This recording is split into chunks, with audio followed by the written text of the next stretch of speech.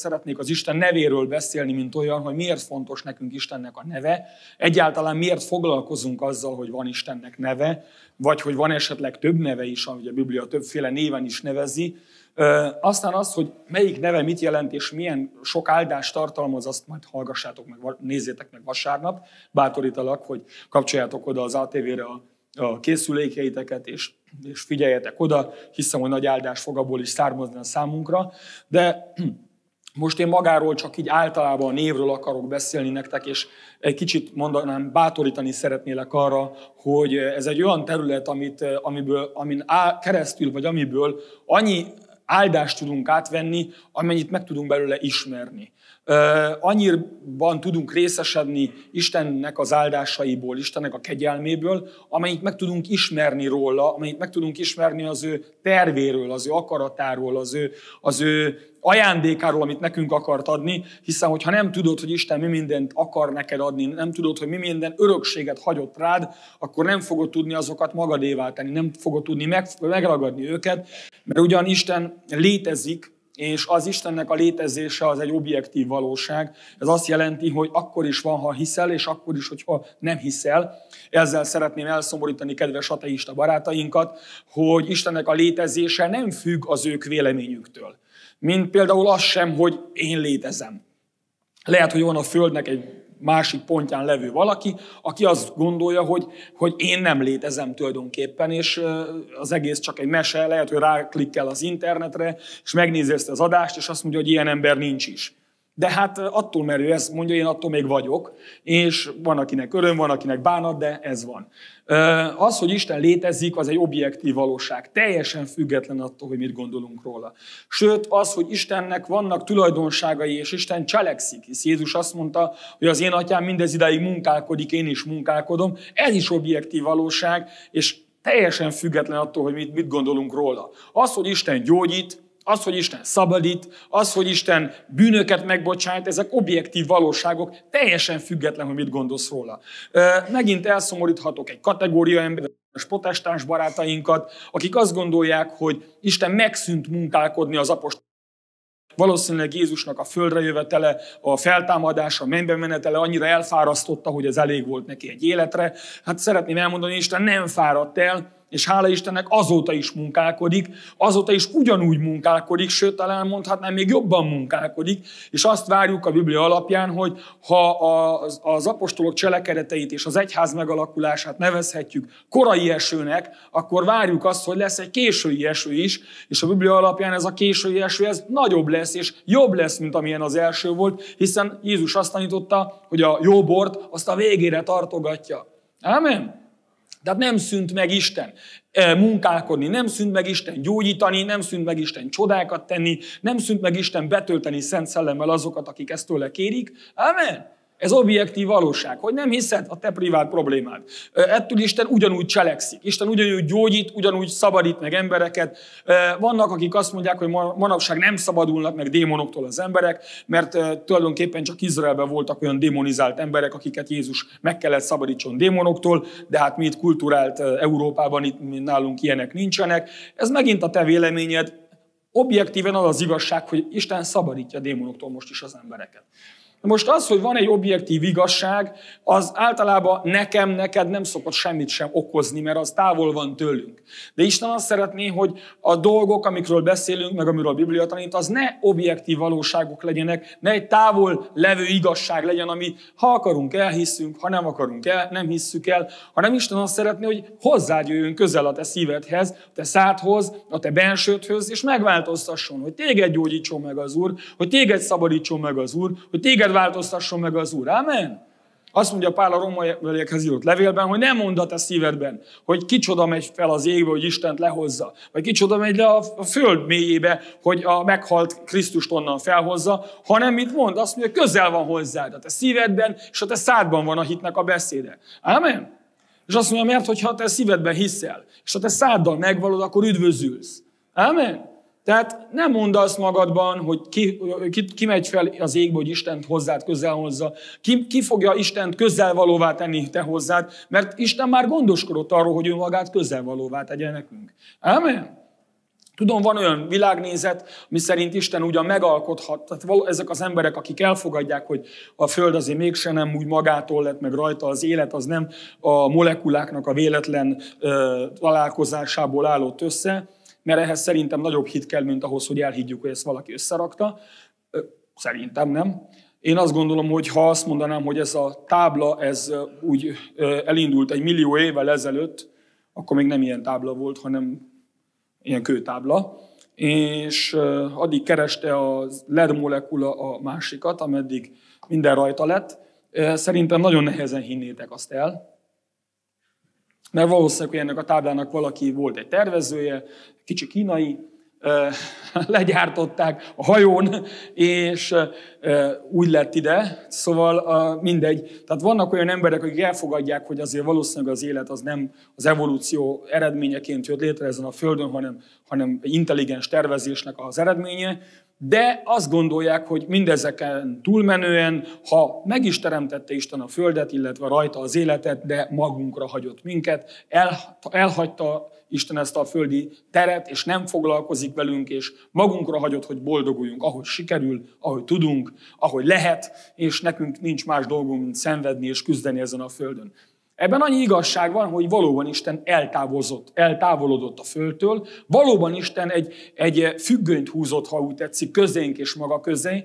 Ezt a függönyt égnek nevezzük, tehát a mennyezetnek, amit azért húzott Isten oda, hogy legyen egy távolság köztünk és közte, szándékosan tette meg, de nem hagyott minket magunkra. Nem távozott el olyan messzire, hogy ne látna minket, nem rövidült meg a, ke- a keze, hogy ne tudna utánunk nyúlni, nem, ö, nem, olyan, nem süket a füle, hogy ne hallaná, ha hozzá kiáltunk, és nem érdektelen, hogy ne érdekelni a mi sorsunk, hanem mindenkorban és mindig, akik hozzá kiáltották, azokat ő meghallgatta. Mindig kinyújtotta az ő kezét, és megmentette azokat, akiket meg kellett menteni, és hogyha ma kiáltasz Istenhez, akkor Isten téged ma fog meghallgatni. Amen? Visszatérve az ő nevéhez, hogy miért fontos beszélni Istennek a nevéről, nyilván azért, mert Isten nem csak egy, egy köd, Isten nem egy ideológia, vagy nem egy ilyen személytelen erő, egy ilyen divinitás, egy istenség. Manapság divatos istenségről beszélni. De az istenség az nem az Isten, hanem az istenség az egy ilyen megragadhatatlan filozófiai akármi, amit, amit csak körbe lehet írni, de nem lehet megfogni. Ehhez képest Isten magát úgy jelentette ki, hogy ő személy. Ő azt mondta Mózesnek, hogy én vagyok. Amen. Ő nem egy ideológia, ő nem egy elképzelés, hanem ő egy személy. Azt mondta már az első parancsolatban, én az Úr vagyok, a te Istened. Tehát Istennek van identitása, ő tudja, hogy ő kicsoda. És tudja azt is, hogy te kicsoda vagy. És a mi identitásunk is az Isten identitásából származik. Amen. Azért nem vagyunk mi emberiség, hanem emberekből állunk. Amen. Amikor azt mondjuk, hogy az emberiségnek ilyen szükségei vannak, meg olyan szükségei vannak, akkor abban nem tükröződik az, hogy neked milyen életed van, hogy te boldog vagy, vagy nem vagy boldog. Mert az emberiség az egy ilyen átlagosságról szól. Azt mondják, hogy Romániában átlagosan meg lehet élni. Akinek? És mi van azzal, akinek nem? De Isten nem az emberiségért jött el, hogy megmentse, félre ne értsetek hanem Isten emberekért jött el, hogy megmentsen. Személyekért jött el, hogy megmentsen. Amen? Persze, az is igaz, hogy Isten az egész emberiségért küldte el Jézus Krisztust, az ő fiát, de nem úgy általában jött el Jézus az emberiségért, hanem úgy konkrétan emberekért jött el.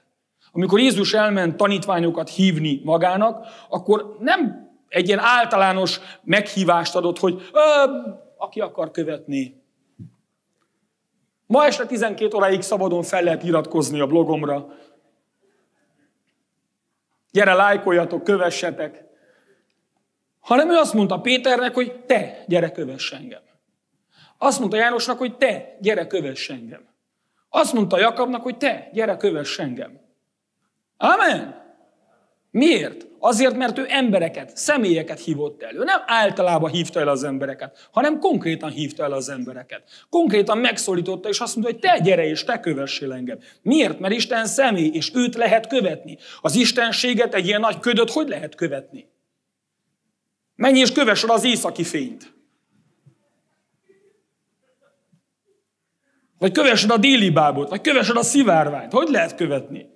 Mindig, mikor elmész a szivárvány után a hegy tetejére, már a túlsó hegyen van. És mikor elmész oda, akkor megint a következő hegyen van. Nem? Ez már jó régi gyerekmese, hogy a szivárványt nem lehet utolérni. Miért nem lehet utolérni? Mert mindig elszalad előled. Amikor azt hiszed, hogy ott van, meg tudnád fogni, akkor már nincs ott. Ilyen az embernek a szerencséje. Hajtja egész életen keresztül, mikor majdnem megfognak, elment. Úgyhogy az, amikor mondják, hogy megfogta az Isten lábát, ez mindig csak képletesen mondjuk, mert senki nem fogta még meg az Isten lábát. Miért? Mert mindig elment. Miért? Azért, mert Isten az ők szemükbe egy istenség, egy köd, egy szivárvány, amit igazából nem is lehet elérni, csak szeretnénk mindig afele menni, és akkor miközben futunk a szivárvány után, akkor egy kicsit ilyen gyerekek vagyunk, és egy kicsit boldogok vagyunk. De hát nem erről szól a Biblia, barátom, hanem arról, hogy Isten személy. Amen. És ő nem bújik el előled, ő nem bujócskázik, ő nem mindig elmegy a következő hegyre, és az egész életed abból áll, hogy minden gyerek szaladsz a szivárvány után, mert ugye a felnőttek szeretnek ezzel eljátszadozni. Milyen aranyos a gyerekkor, mert fut a gyerek az ábrándok után, de mi már tudjuk, hogy milyen hülye, mert úgyse fogja utolérni. És akkor a nagyokosok, akik már öregek, azok, azok már nem futnak a szivárvány után, azok már leülnek. És mondják, hadd fussanak a fiatalok. Mikor mi is fiatalok voltunk, akkor mi is, hogy futottunk. Aztán szép lassan ráébredtünk a szörnyű valóságra, hogy ö, nincsen semmi szivárvány, meg úgyse lehet utolérni, meg az egész csak egy ábrán, meg stb. De hát Isten nem erre hívott el minket, hogy ábrándokat kergessünk és fussunk utána, hanem azt mondta, hogy ő egy valaki, ő egy személy, ő nem bujócskázni akar velünk, hanem meg szeretne ismerni bennünket, és szeretné, hogy mi őt megismerjük. Mert ha Isten nem akarta volna magát megismertetni az emberekkel, soha nem találtuk volna őt meg. Az a helyzet. Tudom, hogy már az emberek felmentek a Holdra, készülnek a Marsra is, kiküldtek űrszondákat, elhagyták már a Plutót is, meg mit tudom én hány ö, ezer vagy hány milliárd kilométer távolságra jutottak a Földről, illetve ö, optikai, meg rádióteleszkopokon kutatják a világűrt, és azt mondják, hogy hát már megnéztünk mindent, és gyakorlatilag nincs Isten. Hát ha van, mi már mindent néztünk, ott nincs. De az a helyzet, hogy tulajdonképpen az emberek csak állandóan ezt a függönyt nézik, amit Isten odahúzott. Jártál színházba, nem? Báb színházba, biztos emlékeztek, egy, számoltuk, hogy mikor húzzák el. Mindegy, hogy azt a függönyt a szabad szemeddel nézted, vagy távcsővel, ilyen színházi távcsővel, mindegy, hogy mivel nézed a függönyt, ameddig a függöny ott van, te csak a függönyt látod. Maximum látod a függönynek a szővését. Lehet, hogy látod, hogy mi van, hány helyen van megbomolva, meg a takarítónének a kezenyomát, meg stb. Ilyen dolgokat láthatsz rajta. De úgyis csak a függönyt látod, nem látod azt, aki mögötte van. És Isten valóságos személy, csak hogy a függöny mögött van. És azért van a függöny mögött, hogy lehetőséget adjon arra, hogy keressed őt, és hogyha keresed, megtalálhatod őt. És nem a szemednek a, a látásából, meg nem az, az okoskodásodnak, nem az eszednek a közvetítésével tudod megtalálni Istent, hanem a szíveddel tudod megtalálni Istent. Amen? De, de térjek vissza, mert azt mondom, a névről akarok beszélni, hogy miért fontos a név. Ugye, mert mondtam, hogy Isten azért, adott, azért nevezte meg magát, mert ezzel is ki akarta fejezni, hogy ő egy személy. Ő nem egy köd, ő nem egy általános valami, ő nem egy ideológia, hanem ő egy személy. Ennek a személynek pedig van neve. A mi kultúránkban már oda jutottunk, hogy a név tulajdonképpen arra való, hogy valamit vagy valakit megjelöljünk vele, vagy valakit vagy valamit megkülönböztessünk a többi hasonlótól. Tehát Jancsikát azért hívják Jancsikának, hogy lehessen megkülönböztetni a Pistikétől. És hogyha már sok Jancsika van, akkor, akkor mondjuk nagy Jancsika lesz belőle, hogy ne tévesszük össze a kis Jancsikával. De lényegébe véve nem, Értjük azt, hogy mi a lényege annak a névnek. De egy korábbi kultúrában, például a Biblia kultúrájában, meg egyébként az ókorban, más, más kultúrákban is ez nem így volt, hanem a név az nem csak megkülönböztetésül szolgált, hogy tudjuk megkülönböztetni X-et az Y-tól, hanem arra is szolgál, a, a név az, az hordozza, az képviseli azt a szemét. A név az ő maga a személy ha nem is százszázalékosan, de, de őt, a, a, a lényegét, a, az embernek a valóját képviseli és képviselte a név. Amen? És Isten, amikor magáról nevet mond, megmondja a saját nevét, akkor minden esetben arról lehet beszélni, hogy Isten az ő valóságát közli a neve által az emberek felé. És amikor Isten megnevezte magát, akkor ezzel azt is megmondta, hogy ő milyen. Mert mi nem tudtuk volna megismerni máshogyan Istent, mert nem tudtuk körbejárni, nem tudtuk megnézni, nem tudtuk az érzékszerveinkkel letapogatni, hogy ő milyen. Ezért Isten úgy tudjuk megismerni, hogy ha az ő cselekedeteit látjuk, hogy hogy cselekszik, mit cselekszik. Az ő nevei az Istennek a cselekvési módját írják le. Amilyen Isten, olyan az ő cselekedete. Úgy, úgy, úgy mutatkozik be az ő nevein, hogy ő ezt vagy azt a dolgot szokta csinálni. És az Istennek a neve az ő tulajdonságait írja le, és ebből ismerjük meg, hogy milyen a mi Istenünk. Amen? Némelyek mondják, hogy uh, volt is egy, nem vita, mert azt nem lehet vitának nevezni, csak egy beszélgetés valakivel itt a gyülekezetben, hogy mondta, hogy azért van felháborodva, mert azt mondta neki valaki, hogy Allah az nem az Isten. És mondom, hogy hát én sem tudok más mondani. Ugyanis Allah nem Isten. Én tudom, hogy lehet, hogy vannak olyan nyelvek, az arabnak valamilyen tájszólásai, vagy más nyelvek, ahol Istenre nincs más kifejezés, mint Allah, de az az Allah, akiről a Mohamed beszél, aki szerint az egy és igaz Isten, az nem Isten. Az a leg, legjobb indulattal egy angyal. Kicsit közelebb a valósághoz egy gonosz angyal. Az nem az Ábrahám, Izsák és a Jákobnak az Istene. Az nem az Izraelnek az Istene. Amen. Az nem az, akiről a mi Bibliánk beszél. Ne engedd, hogy ez világ összekeverje. Mondják, hogy ja, hát persze, ha van Isten, akkor egy Isten van, aztán hát tudod, a, a muzulmánok Allahnak nevezik, a zsidók Jehovának, mi Jézusnak, az indiánok Manitúnak, ö, aztán nem az a lényeg, hogy hogy nevezzük, mert hát azt úgyis ki tudja, hogy őt hogy hívják, mert senki nem tudja. A lényeg az, hogy ugyanarra az örökkévaló teremtőre gondoljunk. De ez így, ahogy van, ez hazugság. Ez egy olyan, egy olyan ideológia, ami össze akarja mosni a szezont a fazonnal. Nem, testvérem, nem. Isten kijelentette magát Mózesnek ezelőtt durván 3500 évvel, és elmondta azt, hogy mi az ő neve. Ugyanis mikor Isten elküldte Mózest, hogy menjen vissza Egyiptomba, szabadítsa ki az Izraelt onnan, akkor az volt az, Mózesnek az első kifogása, hogy és mit mondjak, hogy kiküldött. Hát az Isten. Hát jó, jó. Ugye kicsit nem lehetne konkrétabban? Ugye az Isten. Hát Egyiptomban annyi Isten volt, hogy már akkor sem tudták megszámolni egy kezükön. Milyen Isten? Melyik Isten? Ha Mózes Indiába ment volna, még nagyobb baj lett volna, ott van, hogy 30 millió Isten. A tehéntől az egérig, és a többiekig. Nem. Melyik Isten? Gyakorlatilag a fára ugyanígy ezzel a dologgal is kérdezte vissza Mózes, mikor Mózes odállt és mondta, hogy azért jöttem, mert az Úr küldött engem, hogy azt mondja neked az Úr, hogy engedd el az én népemet, hogy áldozzanak nekem a pusztába. Fáraó nézte, és azt mondja, melyik Isten? Mert ő ma ismert vagy húszat, de melyik? Mert az ő isteneinek ilyet nem mondtak, hogy el kéne engedje a rabszolgáit. És ezért Mózesnek kérdés volt, hogy Uram, jó, én elmegyek, de mit mondok? Melyik az az Isten? Ki az az Isten, aki, aki engem elküldött, hogy megszabadítsam a népet Egyiptomból? És akkor mutatkozott be úgy Isten Mózesnek, egész addig az emberi történelemben azt is mondja a Biblia, nem volt ismert ezen a néven, akkor mondta el Mózesnek, hogy az az én nevem, hogy vagyok. Az az én nevem, hogy vagyok. Vagy vagyok, aki vagyok. Vagy úgy is fordítják, hogy vagyok, aki leszek. Vagy leszek, aki leszek. Az örökké való, mert a, mert a vagyok az eredeti formájában, az benne van a múlt, a jelen és a jövő. Tehát az nem csak egy jelen idejű létige, mint ahogy magyar nyelvben lefordítjuk a vagyok, az jelen időben a létige, hanem a vagyok, az Isten neve, abban benne van a múlt is, és benne van a jövő is, egy szóba, hogy ő mindig van. Amen. Ő nem csak ezelőtt 2000 évvel volt, nem csak 5000 évvel ezelőtt volt, nem csak most van, hanem mindig van. Ámen, ő mindig van, mindenütt jelen van, mindig ott van, és nem múlik el, és nem változik meg. Ámen. És ezen kívül tudjuk azért, hogy több más néven is bemutatkozott Isten.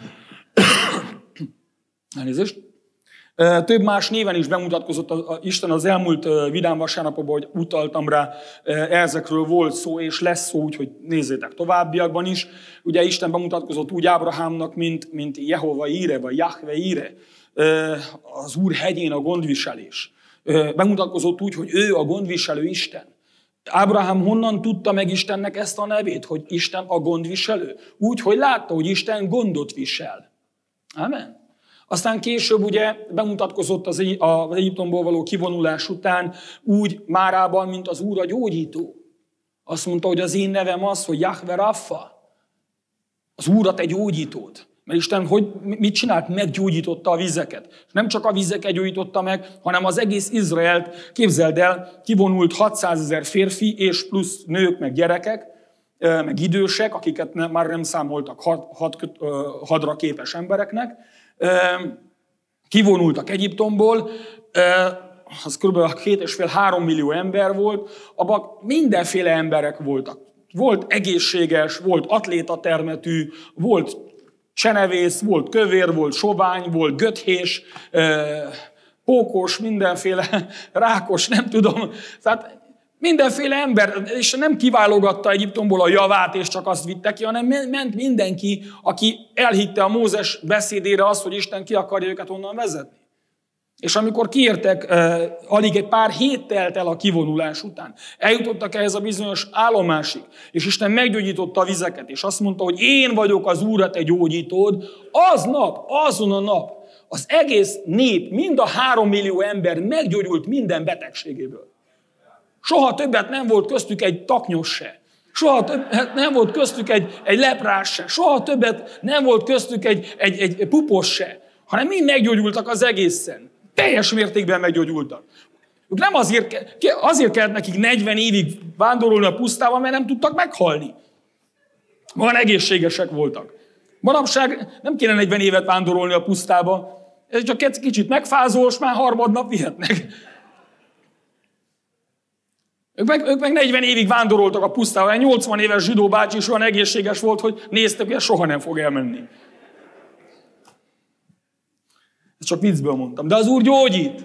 És hogy, hogy tudta meg Mózes? Hogy ismerte meg Mózes Istennek ezt a nevét? Hogy Isten a gyógyító? Úgyhogy meggyógyította az embereket. Ki, három millió ember gyógyított meg egyszerre. Nem egy sántát, hanem három millió ember gyógyított meg. Különféle betegségekből. A, az orvosi, uh, diagnosztikai, köny, uh, hogy is mondja, lexikonnak az összes betegségéből meggyógyultak. Nem tudom, mekkora a, a lexikon a betegségekkel. Nincs ilyen? Nincs ilyen gyűjtemény, hogy hány betegség van? Biztos van, de sok van. És még hány van, amiről nem is tudnak. És mind az egészből meggyógyultak. Mak egészségesek lettek. Az orvosok mehettek nyugdíjba. Elmentek manikűrösnek, meg ácsinak, meg ennek, annak. Fodrásznak? Mert nem volt rá szükség, mert meggyógyultak. Hogy? Tehát e, e, Isten hogy mutatta meg az ő nevét? Úgy, hogy egy cselekedetet mutatott be, és ezáltal megmutatta az ő nevét. De mivel, hogy magát megnevezte, hogy ő a gyógyító, ez azt jelenti, hogy ez nem egy véletlenszerű esemény volt. Mert ugye, hogyha valakinek az, a, az van ráírva, most nem a, a család nevére mondom, hanem hogyha valakinek, mint szakma, vagy a névjegykártyájára az van ráírva, hogy lakatos akkor az nem véletlenül egyszer tudott megcsinálni egy zárat, hanem valószínűleg, hogy ért hozzá, és máskor is meg tudja csinálni. Na most akinek a neve lakatos, az nem biztos, hogy tud lak, zárat csinálni, mert annak csak a neve az. Mint ahogy más nevekkel is így van az ilyen szakmai nevekkel, mert örököltük az apáinktól. De, de Isten nem örökölte az apjától, hanem ez az ő neve, mert ő ilyen. Ő nem csak egyszer gondot, viselt gondot Ábrahámról, mert megsajnálta, hogy az egyetlen gyermeke majdnem meghalt, hanem, hanem Isten mindig gondviselő. Mert ez az ő neve. Ő a gondviselő, ő a nagybetűs gondviselő, ő a, a nagybetűs gyógyító. Aztán arról is bizonyságot tett, hogy, hogy ő a mi győzelmi zászlónk. Ő az, aki minket győzelemre vezet. Aztán azt, Gedeonnak arról is bizonyságot tett az Úr, hogy az Úr a mi békénk. Az Isten a békesség. Ő a Jahve Shalom. Amen. Ez az ő neve hogy ő a béke, nála van a béke, benne van a béke. És ugye a nagyon fontos megérteni azt, hogy a, a, A salom kifejezés Bibliában az nem csak olyan értelemben jelent békét, mint ahogy mi a mostani modern nyelvezetben a békét használjuk, mert mi amikor azt mondjuk, hogy békesség, akkor a harcnak, a, a, a viszálynak a hiányára utalunk, amikor azt mondjuk, hogy béke, de az eredeti jelentés tartalma a békességnek, az abban benne van az egészség, abban benne van a boldogság, abban benne van a kiteljesedés, abban benne van minden. Amikor, amikor Isten salomot ad neked, akkor mindent adott neked. Amen. Akkor a teljes ellátást odaadta neked. És ő a mi békességünk. És nem csak, hogy ő a mi békességünk, hanem meg lehet békülni vele. Az a helyzet, hogy az emberiség ma, nap, ma mai napig is, az emberiség háborúban van Istennel. Néha az emberek mondanak olyanokat, hogy hát ha Isten van, akkor miért engedi meg, hogy annyi rossz dolog történjen? Lásd, háborúk, gyilkosságok, erőszak, és a többi, és a többi. És mindezt úgy teszik fel ezt a kérdést az emberek, hogy mindeközben Istent ellenségnek tartják. Normális vagy?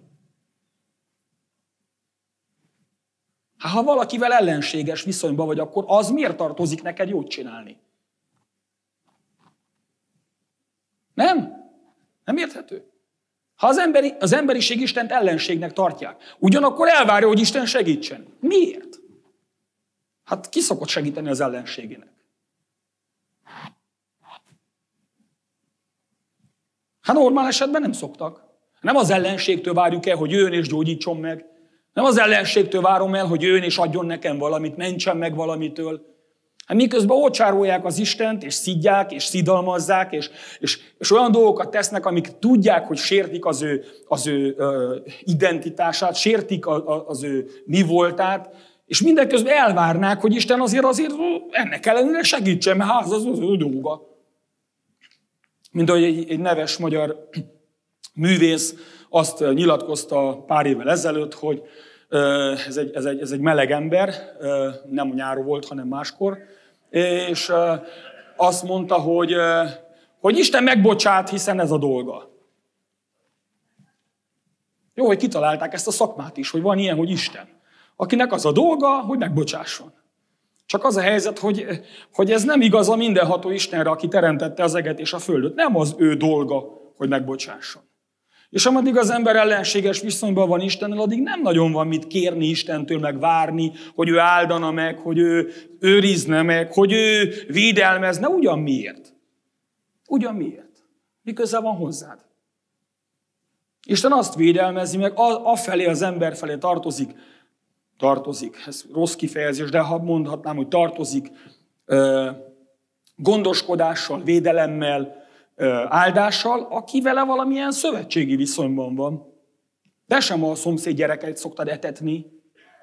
Vagy igen? Most lehet, hogy időnként adsz neki egy cukorkát, vagy éppen kinszaladgálnak a gyerekek, neki is adsz egy szendvicset a tiéd mellett, de azért nem vállalod fel, hogy őt el fogod tartani, iskolázni fogod, ruházni fogod, mindent fogsz vele csinálni, nem? Mert nem a te dolgod, neked van saját gyereked, neked azokat kell ellátni. Istennek is a sajátjaira van gondja, hogy így mondjam. Emellett, mert annyira jó, még máshol is szokott segíteni. Tudod miért? Mert jó. Nem kötelezettségből, hanem mert jó. Amen. Vagy mondhatnám még több nevét is Istennek, de most maradjunk ennyivel. Tehát ö, Istenről is úgy beszél a Biblia, hogy többféle néven mutatkozott be.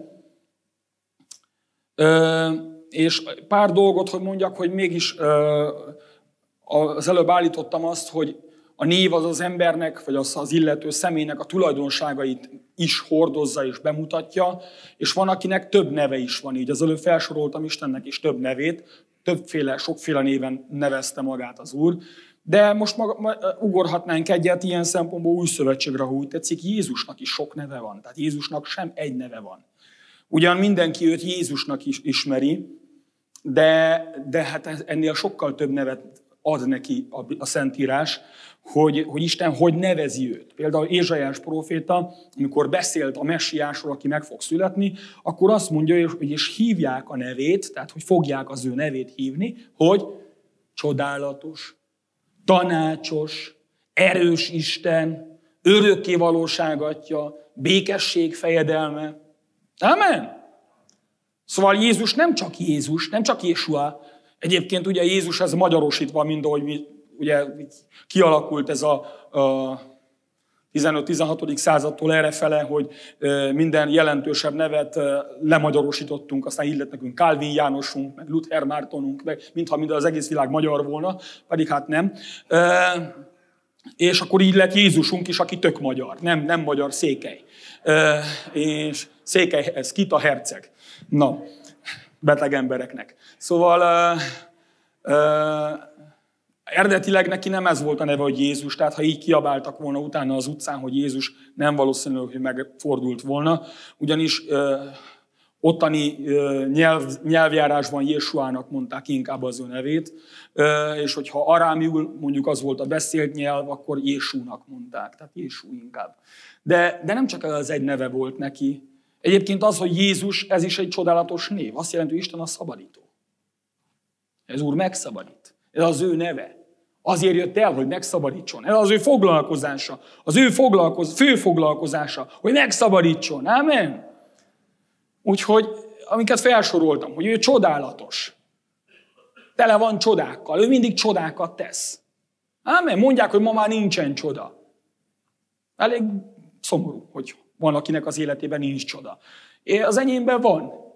És én kívánom, hogy mindig legyen. Mert a csodák teszik sokkal érdekesebbé az életet. Mert ha nincs csoda, akkor olyan unalmas, ha mindent ki tud számolni. Beírod a naptáradba, csak az utászok szoktak nálunk mindig csodálkozni, hogy eljön a tél, és hó is van, mikor tél van. Már annyira elhitték a globális felmelegedést, hogy azt mondják, hogy jövőre biztos nem lesz hó. De mindig meglepődnek, és mindig van hó.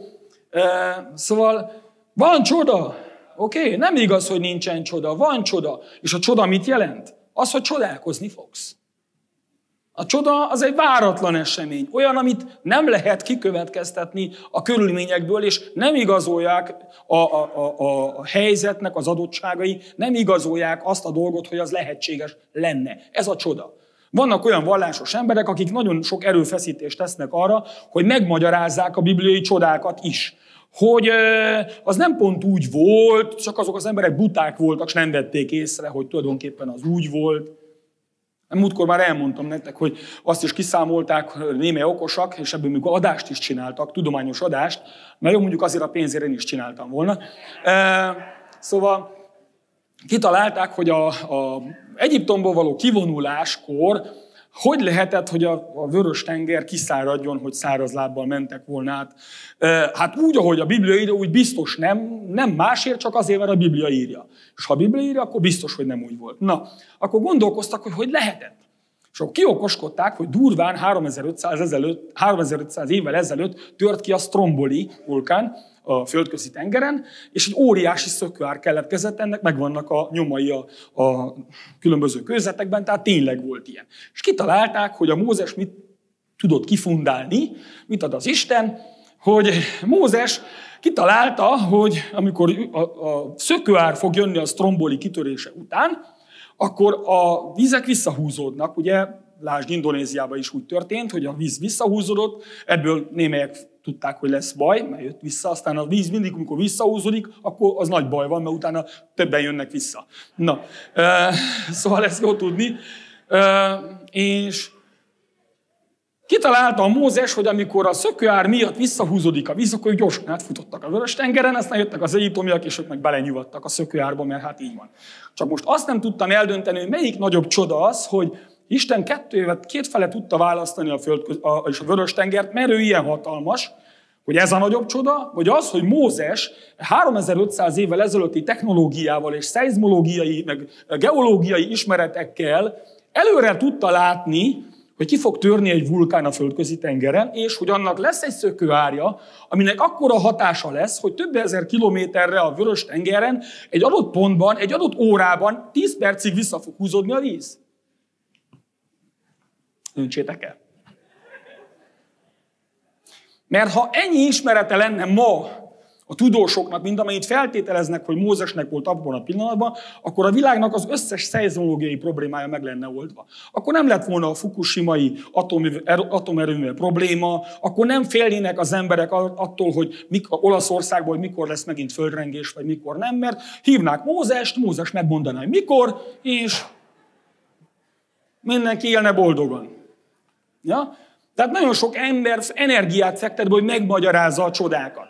Olyant is olvastam, hogy a, valaki azt fejtegette, hogy a Jézus csodálatos kenyér meg halszaporítása az úgy történt, hogy amikor ugye már három napja az emberek ott hallgatták Jézust, és e, éhesek voltak már, és Jézus mondta a tanítványának, hogy adjanak neki enni, mondták, hogy hát de nincs annyi, akkor végül kiderült, hogy hát egy gyereknél van öt kenyér, meg két hal, és amikor ez a, két, a kisgyerek ezt a heroikus, hősi, mikulási gesztust meghozta, hogy azt a kis ételét odaadta a közösbe, és azt mondta, hogy akkor egyétek meg az öt kenyeremet, meg a két hallamat, akkor ettől a többi addig smucik zsidónak a lelke megmozdult, és elővették a szatyorból a saját kenyerüket, meg a halukat, és akkor végül mindenki tudott tenni.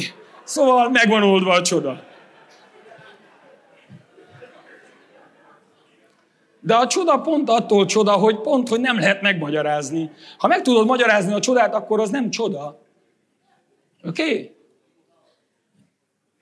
Ha meg tudod magyarázni a csodát, akkor eltűnt a csoda, akkor vége, akkor az egész semmi. Akkor, akkor köddé foszlott az egész, akkor, akkor nincs csoda. Már pedig csoda van, az emberben van igény arra, hogy legyen csoda. Mert az ember tudja azt, hogy véges a képességem, hogy, hogy egy adott pillanat után nem tudok mit csinálni, és hogy ha nem tudok mit csinálni, akkor csak a csoda tud rajtam segíteni. És tudod, Isten a csodatevő, ő tud segíteni. Tudod miért? Azért, mert ő alkotta a természeti törvényeket, és mint alkotó fölötte áll a természeti törvények fölött is, van hatalma azokat felfüggeszteni. Amen.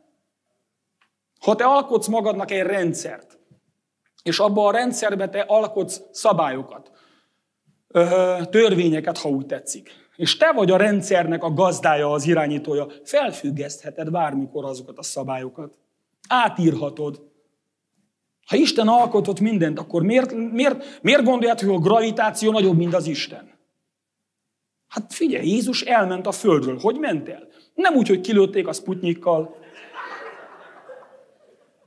nem ráült egy, egy, egy, egy, egy hordóra, a puska porras felgyújtotta magát, és akkor elment a mennybe, azóta is rakják össze a 77 szűz. Hanem egyszerűen elment. A tanítványok ott beszéltek vele az olajfák hegyén, ő elkezdte megáldani őket, és szép lassan elkezdett menni felfele. És ott így maradtak a szemeikkel, meg a száj.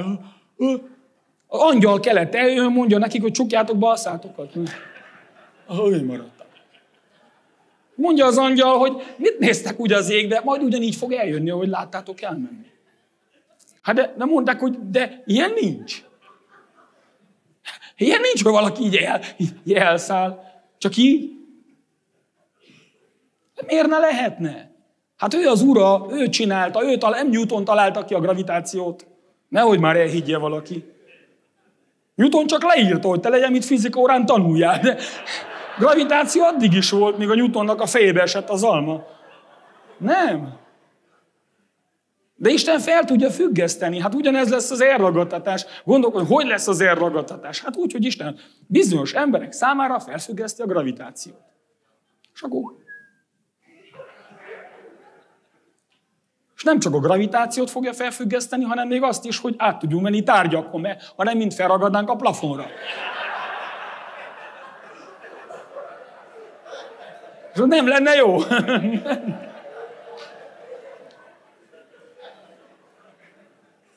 Isten a csodatevő Isten. Amen. Még olyan neve is van Jézusnak, hogy tanácsos. Hogy erős Isten. Amen. Erős Isten. Gondoltad, hogy Jézusnak ilyen neve is van, hogy erős Isten? Ezt az általam idézett Ézsaiási proféciát nagyon sok helyen karácsonykor felszokták olvasni, mert ugye ez egy messiási profécia volt, amit Ézsaiás 700 évvel durván Jézus születése előtt profétált meg. És nagyon szép ígéret, és azt mondja, hogy hívják nevét tanácsosnak, csodálatosnak, tanácsosnak, erős Istennek. Azt gondoltuk, hogy Jézus csak a bárányka, ő a szerítség, a, a, a, a kiszolgáltatottságot a, a, a mutatja, és hogy ugye egyik arcod után a másik arcod, meg stb. De hát azt is olvasom, hogy ő erős Isten. Erős Isten. Hogy az örökké valóságnak az atya. Ez nem az atyának a neve, hanem Jézusnak a neve, hogy ő az örökké valóságnak az atya, és a békességnek a fejedelme. Amen.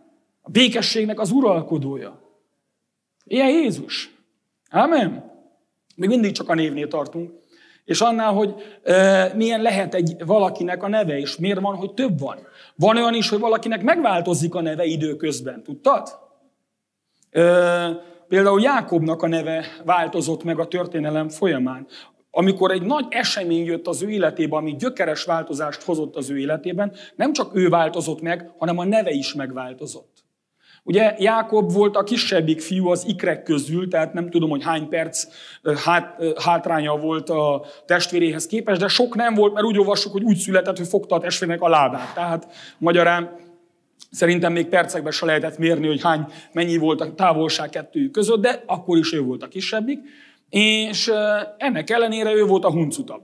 Tehát ő mindig úgy csinálta, hogy neki jó legyen a dolog, és ezért elnevezték Jákobnak ami egyrészt azt jelenti, hogy a sarkot fogó, tehát hogy fogta a testvérének a lábát, de másik részt meg azt jelenti, hogy csaló. És mikor ezt a gyerek elment játszani, akkor őt úgy hívták, hogy csaló. Csalóka. Ja? És ugye egyéb problémákba keveredett, elszedte az örökséget a testvérétől, stb. stb.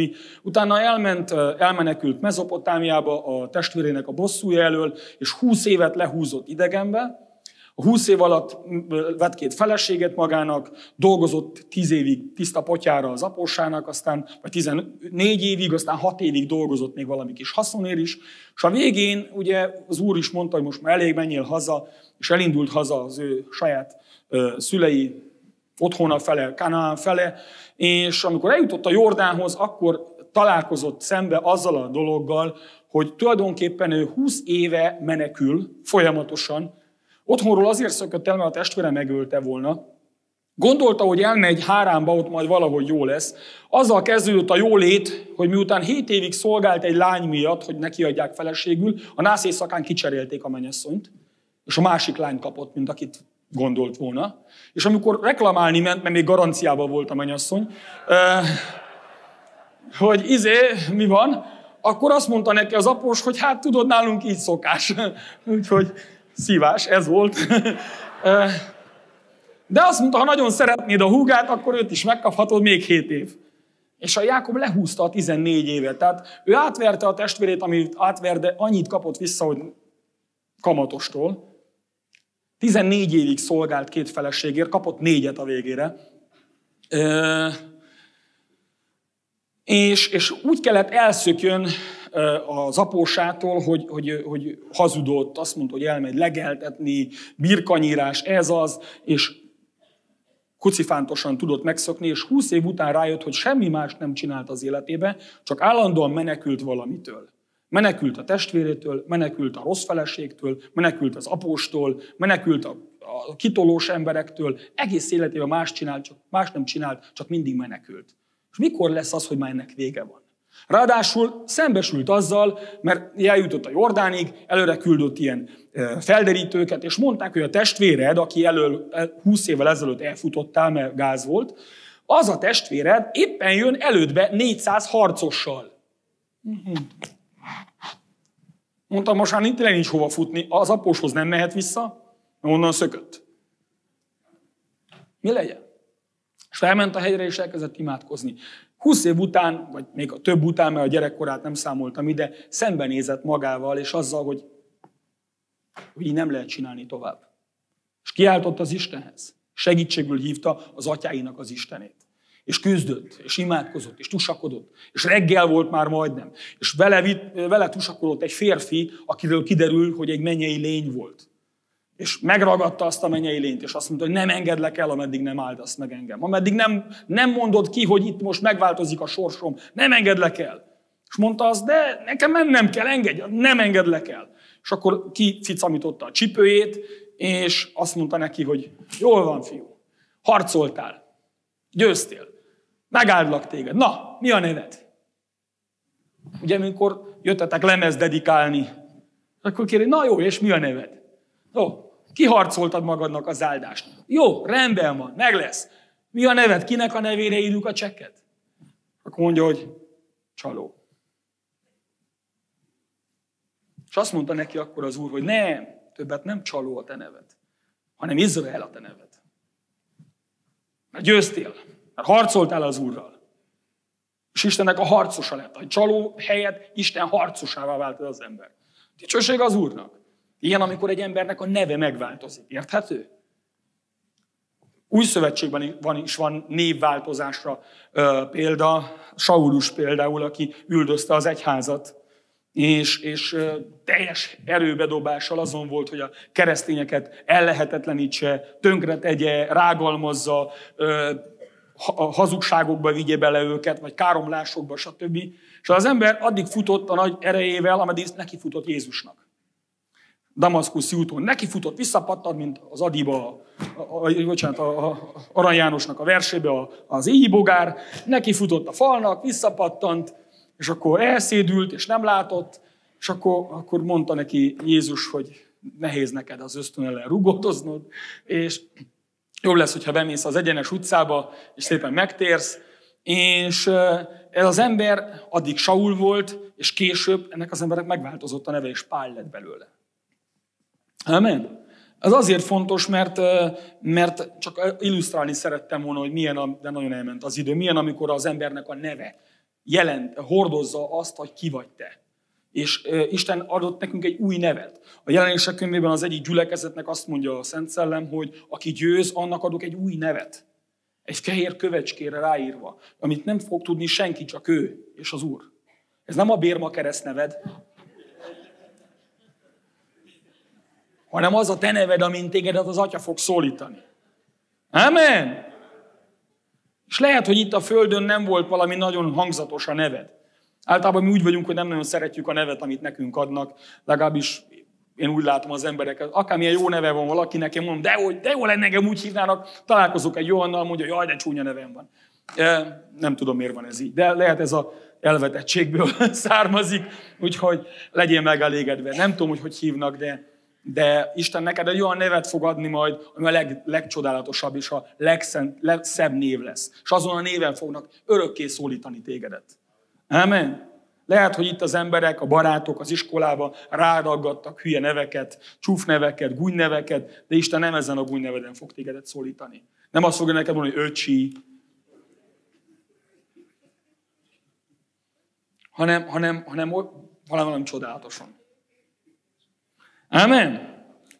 Az a helyzet, hogy maga Isten, és azért fontos Istennek a nevéről beszélni, és Jézusnak a nevéről is beszélni, mert a 48. Zsoltár 11. vers azt mondja, amilyen a neved, ó Isten, olyan a te dicséreted a föld határai, igazsággal teljes a te jobbod. Tehát maga Istenről azt mondja a Biblia a Zsoltárokban, hogy amilyen a neved, olyan a te dicsőséged. Amen. Amilyen a neved, olyan vagy. Amilyen névhez tartozol, olyan ember vagy. Befolyásol a név, hogy te milyen ember vagy. Most nem föltétlenül a fizikai nevedre gondoljál, és az esetleges hiányosságaira, mert mondtam, új nevet kapsz az Úrtól, így is, úgy is. Amen? De, de benne van. Van egy olyan mondás, hogy a név kötelez. És valóban. De a szőrségünktől örököltünk egy nevet. Az lehet, hogy tetszik, lehet, hogy nem tetszik. Lehet, hogy jót jelent, lehet, hogy nem jelent jót. De az a jó hírem, hogy van egy olyan névváltoztatási lehetőség, hogy bármilyen név alatt születtél meg ezen a földön, bekerülhetsz a názereti Jézusnak a neve alá. Bekerülhetsz az Istennek a családjába. És be, Isten neked adja az ő nevét. Ugye nevet hogy lehet kapni? Hogy, hogy kaphat valaki nevet? Nyilván, hogy vagy beleszületés által, vagy úgy, hogy neki adják azt a nevet. Így lehetett például római polgárjogot szerezni annak idején, hogy valaki vagy beleszületett, vagy például befogadta egy, egy római szenátor, mondjuk, ilyen romantikus mesékben volt ilyen, mert római szenátorok nem olyan sok embert szoktak befogadni maguk közé, de azért mondjuk volt rá egy néhány példa. És akkor neki adta az ő nevét, például Josephus Flavius, aki a, a Jézus korának a legnevesebb zsidó történésze. Ő a Flavius családról kapta a nevét, azért Józefus Flavius egyébként neki más neve volt becsületes módon, de ő egy római embernek lett a fogadott fia, és felvette annak a nevét, és így lett ő Flavius. És így tudta a rómaiak körében, római értelmiség körében is, le, ismertetni magát a zsidóknak a történetét, és ez nekünk azért áldás, meg azért jó, mert a Biblián kívüli forrásként nagyon jól lehet megnézni, hogy Józefus Flavius miket ír Jézus koráról, az előzményeiről, az utána levő dolgokról. Egyébként maga a Flavius, ő a Krisztus után 70-ben a rómaiak elleni háborúban az egyik galileai erudítménynek volt a zsidó parancsnoka, tehát első kézből tudta, hogy mik zajlottak ezen a dolgon. Csak most példának hoztam fel, hogy ő például Flavius lett. Hogy lett Flavius? Úgyhogy valaki örökbe fogadta őt. És emiatt ő római polgárságot kapott. Például Pálapostolt egy alkalommal többször volt, hogy megverték, de például egy, egyik verésekor, mikor készültek verni, akkor mondta a, a, a hóhérnak, hogy és te tudod, hogy én római vagyok? És akkor a hóhér mindjárt mondta, hogy bocsi, bocsi, akkor nem nyúlok hozzád. És hívták az ezredes, és kérdezte az ezredes tőle, hogy a tribunusz, hogy te tényleg római polgár vagy? És mondta, hogy az vagyok. És mondja az ezredes, hogy hát én ezt nagy sok pénzért vettem meg, gyakorlatilag lebukott, mert ez korrupció volt, pénzért nem lehetett polgárjogot venni, de hát az ezredes azt elintézte, mind ahogy Romániában is lehet román állampolgárságot venni. Ne? Csak ki akar. Na mindegy. és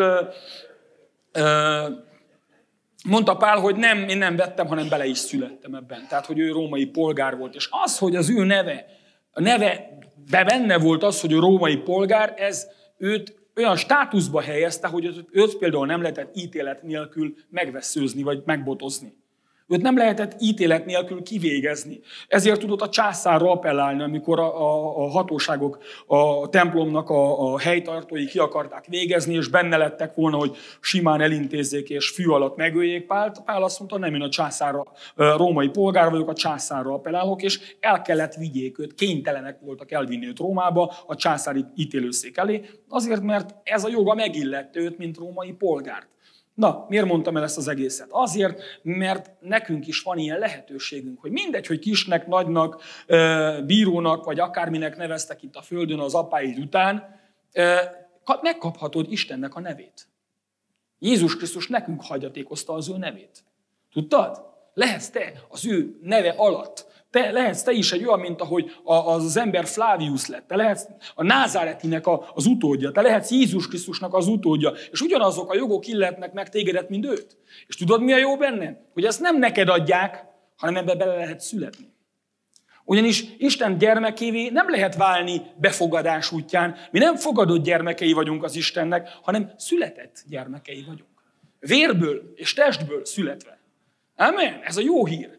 Az emberek azt gondolják, hogy meg lehet szerezni az Isten országába való bejutást, hogy innen átállok oda. Hát de ez nem vasúti állomás, hogy átváltunk, kettes peronra, meg a hármas peronra, hanem, hanem úgy lehet bejutni az Istennek az országába, hogy beleszületsz ebbe a családba. Ez csak születés által tud működni. De ez a jó hírem, hogy Jézus azért jött hogy megismertesse nekünk, megismertesse velünk az Istennek a nevét, azért, hogy mi az ő nevéről neveztethessünk ezután. Amen! Halleluja! Még egy dolog, amit akarok mondani, az az, hogy Istennek a, nem csak az új szövetségben, hanem már az ószövetségben is az volt az egyik célja, hogy az emberek megismerhessék az ő nevét.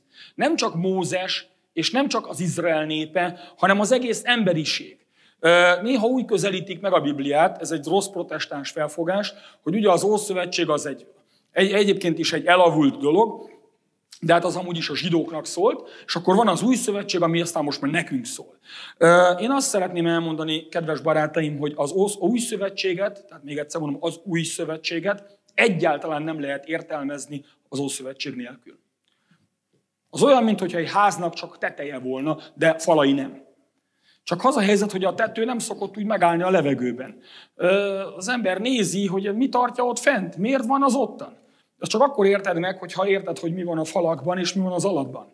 Ószövetség nélkül nincs új szövetség, ugyanis nem megtagadja az új szövetség az ószövetséget, hanem ráépül az ószövetségre egyrészt. Azon kívül pedig a Biblia elmondja, ha elolvasod az ószövetséget is, hogy az új szövetség az nem valami új kitalációja volt Istennek, nem egy olyan B-verziója volt, hogy na, ha nem jön össze az egyik, akkor mm, legyen valahogy mégis, hanem, hanem Istennek egy örökkévaló terve volt. Amen.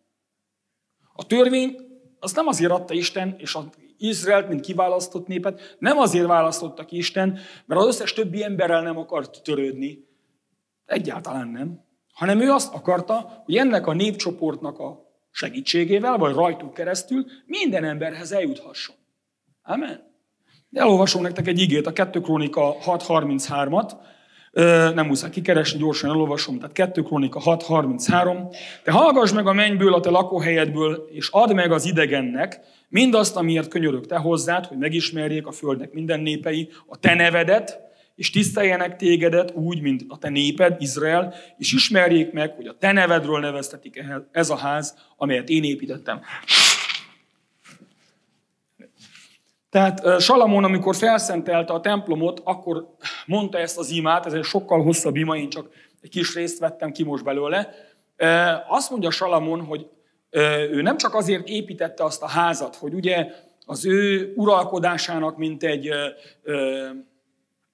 ilyen erőfitoktatása legyen, hogy lám én mit tudtam csinálni. Nem is csak azért építette, mert ugye az apja meghagyta neki, hogy majd fiam építse egy templomot az örökkévalónak. Nem is csak azért, mert szerette az urat, és szeretett volna neki egy hajlékot építeni, hanem azt mondja, hogy azért építettem, hogy majd, hogyha egy idegen, akinek baja lesz, akinek fáj a lába, akinek nyomorúsága van, vagy akármilyen problémája van, akit nyomnak a bűnei, vagy bármilyen baja van, ha majd eljön erre a helyre, és itt ezen a helyen segítségül hívja a te nevedet, akkor te hallgass meg a mennyből, és add meg az idegennek, amiért könyörök hozzád, hogy megismerjék a földnek minden népei a te nevedet. Tehát mi volt az Istennek az akarata? Hogy minden nép ismerje meg az Úrnak a miét?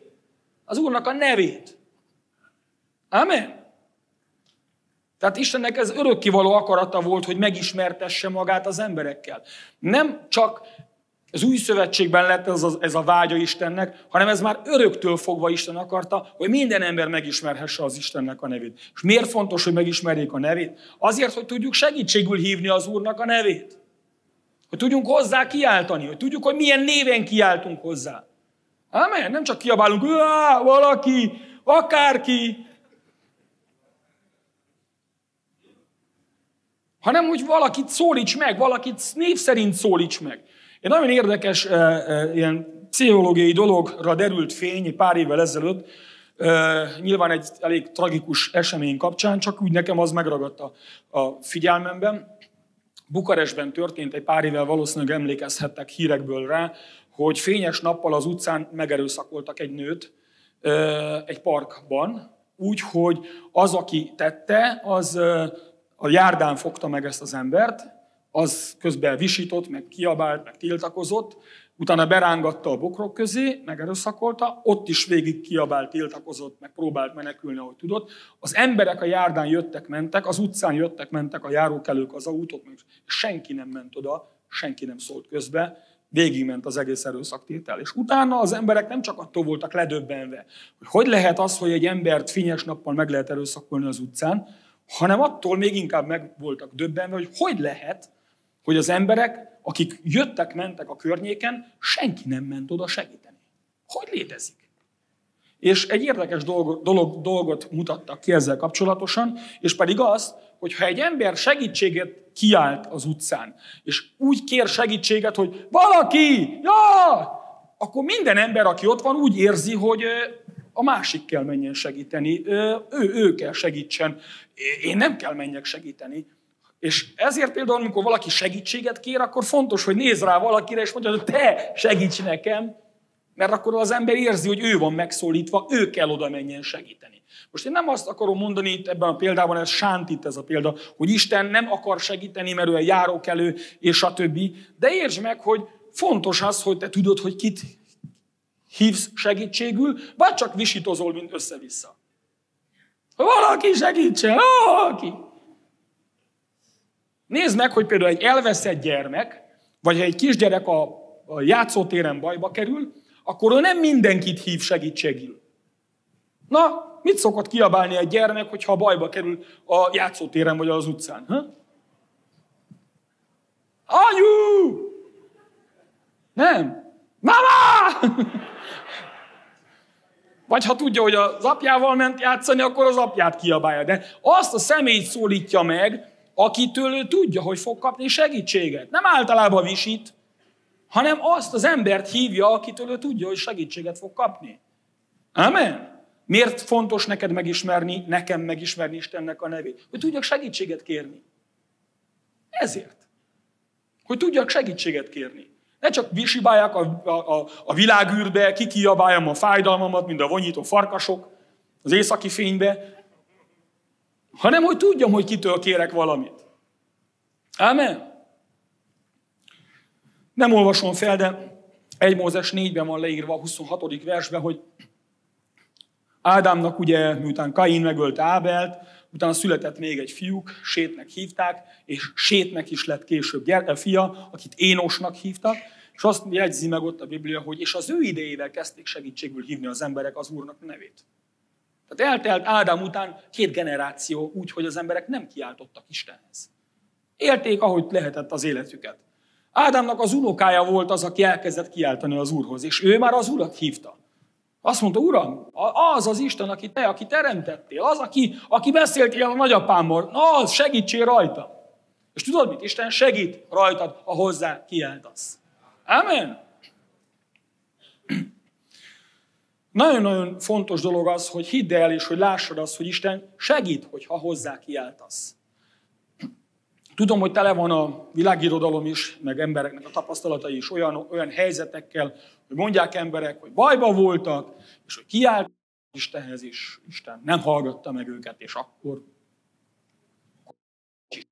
Isten. Vagy ha van is, hát egy gonosz Isten, aki őket nem hallgatta meg abban a helyzetükben, abban a problémáikban. Én nem tudom, hogy adott helyzetben hogy és min történt a te életedben. De azért gondolj vissza a te életedre csak. Hogy hányszor volt, hogy te is kiáltottál az Istenhez, és hogy válaszolt. És olyankor is, akkor is válaszolt, amikor még nem voltunk Istenfélő emberek, nem kerestük az Istent, csak úgy matek dolgozat, vagy román dolgozat előtt, vagy a nem tudom én milyen probléma előtt, vagy a kórházban, vagy a, a bármilyen nyomorúságos állapotodban, az Istenhez kiáltottál, és mondtad, hogy drága jó Istenem, ha most az egyszer megsegítesz, és máskor mindig. És a drága jó Isten megsegített. És akkor utána általában hogy csináltuk? Én is voltam ilyen helyzetben. Utána mit csináltuk? Azok, hú, szerencsénk volt. Köszi Szent Antal. Ja? Én nem tudom, hogy hányszor hallgat meg Isten csak úgy, mert meg akar hallgatni. De hát egyrészt biztos, hogy nem végtelenszer. Mert mondja a, a, a, példabeszédek könyvében Isten, hogy, hogy, hogy hányszor van az, hogy ő kiált és szólongat tégedet, és te nem hallod, amikor ő szólít tégedet. Hányszor kiált ő és mond, szólít, hogy fiam, ne csináld ezt, gyere vissza hozzám, és mi meg tesszük magunkat, hogy ha? Nem is hallottuk, miről volt szó. És akkor azt mondja, oké, okay, te nem hallgatsz rám, majd te is fogsz kiáltani, majd én is úgy fogok veled viselkedni. Én nem tudom, hogy adott helyzetben, adott nyomorúságban levő embereknek akkor adott helyzetben Isten miért válaszolt, vagy nem válaszolt az imájára. De szeretném, hogy ha tudjad, hogy van egy olyan állapot és egy olyan ima, amit Isten minden esetben meghallgat. Ő azt mondja, hogy a, a megtört szívű embert és a bűnbánó szívű embert ő nem utasítja el, és nem veti el. Hogyha azért kiáltasz Istenhez, hogy bocsássa meg a bűneidet, ha azért kiáltasz Istenhez, mert összetört a szíved, és szükséged van Istennek a segítségére, akkor nem fog elutasítani tégedet az Isten, hanem még ma meghallgat. Amen? Azon megírva 50-es Zsoltár 15. versébe például, hogy hívj segítségül engem a nyomorúság idején. Én megszabadítalak tégedet, és te dicsőítesz engem. Amen? Nagyon jó ige. Nagyon jó ige. Hív segítségül engem a nyomorúság idején, mondja az Úr. És ez annyira jó. Nem akkor kell segít, vagy nem akkor szabad, vagy nem akkor lehet segítségül hívni az Urat, amikor minden jól megy. Nem akkor kell segítségül hívjad az Urat, amikor, amikor te mindent jól csináltál, csak úgy a körülmények valahogy rosszul sültek el, hanem amikor, amikor nyomorúságban vagy. Amikor benne ülsz a trutyiba. És nem is az a baj, hogy nyakig ér, hanem az, hogy még lötyögtetik is.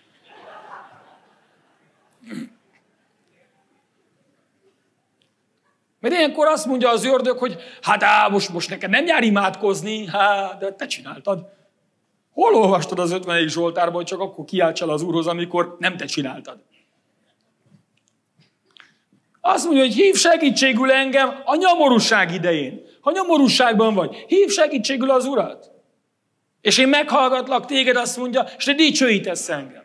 Amen. Nagyon fontos, hogy lehet, hogy eddig nem hívtad segítségül Istennek a nevét. Lehet, hogy nem is tudtad, hogy ki az. Lehet, hogy nem is tudtad, hogy segítségül lehet őt hívni. Mert lehet, hogy a te Istened, akiről eddig hallottál, az egy morcos vénember volt. Aki ilyen nagy fehér szakálú, nem az a télapó, összetévesztetted. E, és akkor ül a nagy botjával, és a szúros tekintettel méri az embereket, és aki hangosabb, azt leüti. És aztán pláne nem szabad vidámkodni. Hogy jön az ide? Tessék komolyan viselkedni.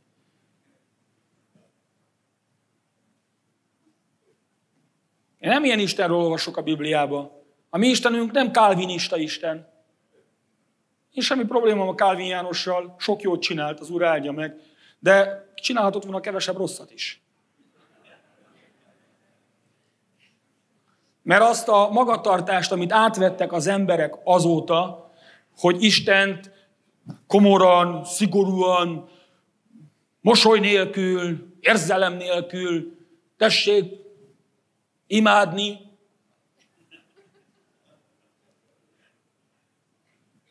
Ez nem a Biblia istene. Ez nem a Biblia istene. Jézus tudott játszodni a gyerekekkel. Tudottak a tanítványai Jézusnak, hogy ne zavarjátok a mestert, mert ő csak a fontos dolgokkal foglalkozik. És Jézus azt mondta, hogy na és mi fontosabb, mint a gyerekekkel lenni? Engedjetek hozzám jönni. Az ölébe vette, megsimogatta őket. Gondolt, hogy ilyen szent gyerekek voltak, ilyen glóriával a fejükön.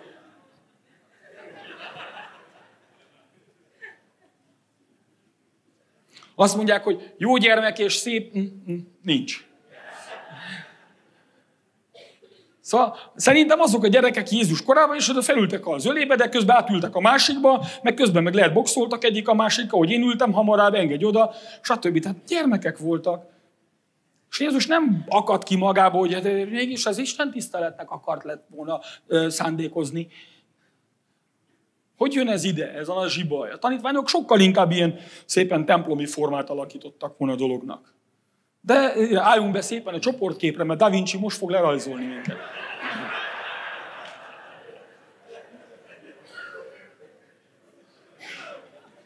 De meg Szent Péter ne vigyorogja, mert hülyén nézek ki a freskon. Szóval...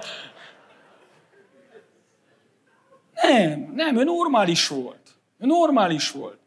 Isten nem egy bunkó vénember. Nem ideges attól, hogy hangoskodunk. Nem ideges, hogy játszunk. Nem ideges, hogy, hogy tudunk kacagni, hogy jól esik a karácsonyi ebéd. Nem ideges attól, hogy boldog vagy, hanem örül, hogy te boldog vagy, és aztán veled együtt én is örülök. Nem, mert ő egy jó atya. Egy normális jó apa vagy anya örül annak, hogyha a gyerekének jó valami.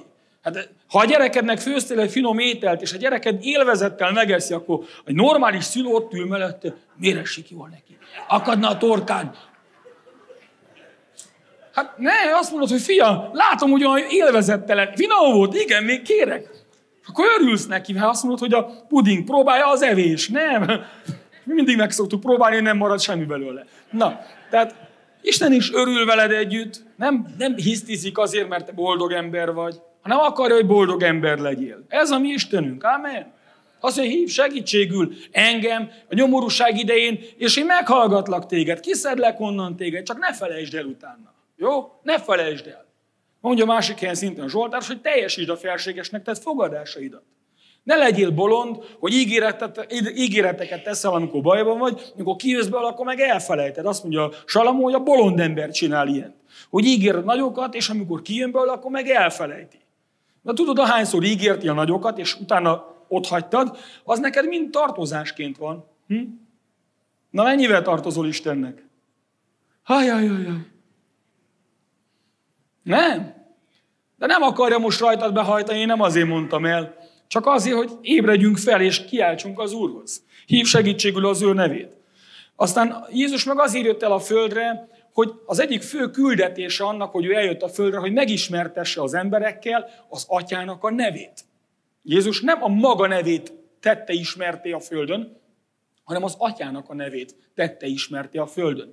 Egy pillanatig sem önmagát reklámozta, hanem, hanem ő az atyát reklámozta.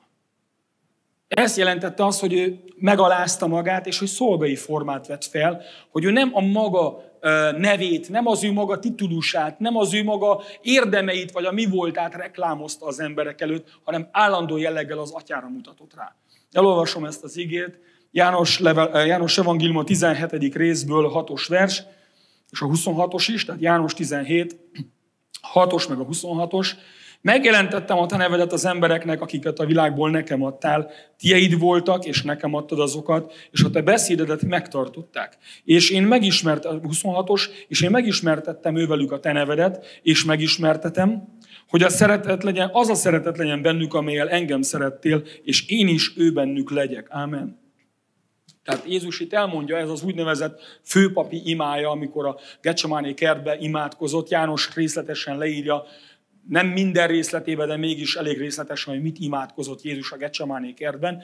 És nézd meg, hogy azért ajánlom figyelmetekbe itt a nagy karácsonyi pihenés közben érdemes ezt elolvasni otthon, hogy a János 16, 17, 18-as részekben van ez leírva, hogy mi mindannyian tudjuk, hogy a Getsemánéba ugye Jézus haláltusát vívott gyakorlatilag, vért izzadt, mert hogy az volt, tudta, hogy el fogják fogni, tudta, hogy ki fogják végezni, és hogy bevállalja ezt a nagy áldozatot, vagy ne vállalja be.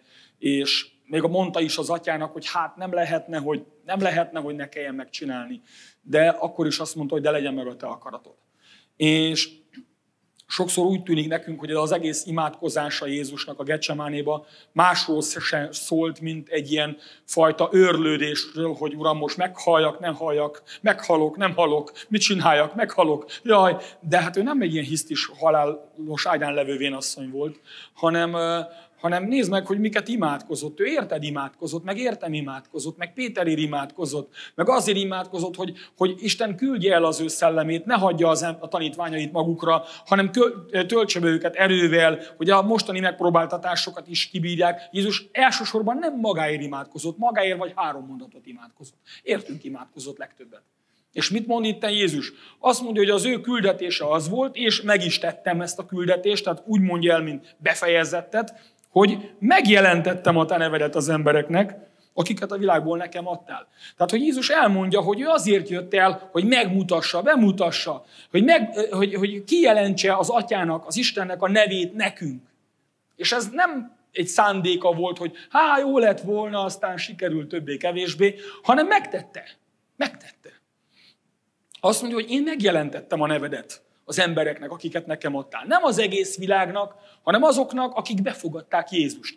Jézus nem az egész világnak jelenti ki magát, az egész világ számára Jézus nem, nem lesz más, mint Jézus. Ilyenkor decemberben Jézuska. De azoknak, akik befogadták a szívükbe őt, azonnak kijelenti az atyát. Amen. És miért volt ez olyan fontos, hogy mintha ez lett volna a leglényegesebb dolog, amit Jézus el akart végezni ezen a földön, hogy kijelentse az Istennek a nevét nekünk.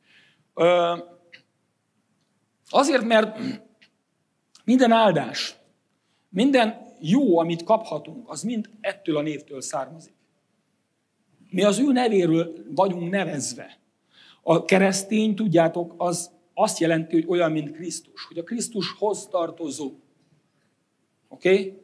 Tudom, többször elmondtuk, de azért még egyszer belefér, hogy a keresztény, mint szó, a magyar nyelvben egy kicsit csalóka, mint kifejezés, mert a, úgy tűnhetik első halásra, hogy a kereszténynek a szótöve, amiből képeztük ezt a szót, az a kereszt. De az igazság az, hogy a kereszténynek a kereszthez szinte semmi köze nincs az égvilágon. Keresztény az nem a keresztből származik, tudom, hogy nagyon sok helyen az van, hanem a keresztény az Krisztusból származik. Eredetiben krisztiánoszoknak nevezték azokat az embereket, nem keresztek, kereszteseknek. Oké? Okay? Mi krisztiánoszok vagyunk, az pedig Krisztust jelent. A Krisztusnak a nevéről vagyunk elnevezve, nem a keresztről. A kereszt az egy kivégző eszköz, az egy bitófa. Oké? Okay? Mi nem vagyunk ilyen sátánisták, ilyen halálkultuszosok. Miért akarsz mindenképpen bitófával járni? Persze, Jézus kereszten halt meg, így van. De ez csak egy aspektusa a dolognak. Azért kellett neki kereszten meghalni, mert ez így volt megprofétálva, hogy ő kereszten fog meghalni. Ennyi. Nem több.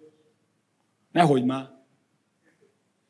Tudom, hogy a kereszténységben fetisizálták magát a keresztet. Feltették minden templomra, imaházakba, háttérnek szokták, nyakukba hordják az emberek, a fülükbe. Van, aki beletetováltatja, az oroszok főleg, eh, hogy biztos legyen, hogy ők keresztények. Ákkora vasgolyót adnak neked, hogyha csúnyán nézel rájuk. Eh, de nem az a kereszténység, barátom. Kereszténység az, hogy olyan vagy, mint Krisztus. Amen. Kereszténység az, hogy olyan vagy, mint Krisztus. Amen, hogy az ő nevéről neveztetel. És tudod, mivel, hogy Jézus nem a maga nevét akarta reklámozni, nem magát akarta megvalósítani, hanem az atyát, ezért cserébe az atya neki adta a legnagyobb nevet. Ez nagyon jó példa arra, hogy hogyan lehet feljutni. Hogyan lehet sikeres ember. Hogyan lehet áldott ember. Érdekel? Na, pont ellen, ellenkezőképpen, mint ahogy mondják ezt a sikertan folyamokon. Elolvasom nektek Filippi levél második rész, 8-as verstől olvasom, csak az elejét nem olvasom, de ha akarjátok, elmondom. Azt mondja Filippi 2, hogy az az indulat legyen bennünk, ami volt a Krisztus Jézusban is, aki mikor Istennek formájában volt, nem tekintette zsákmánynak azt, hogy ő Istennel egyenlő, hanem magát megüresítette, szolgai formát vett fel, hozzánk hasonló ember lett,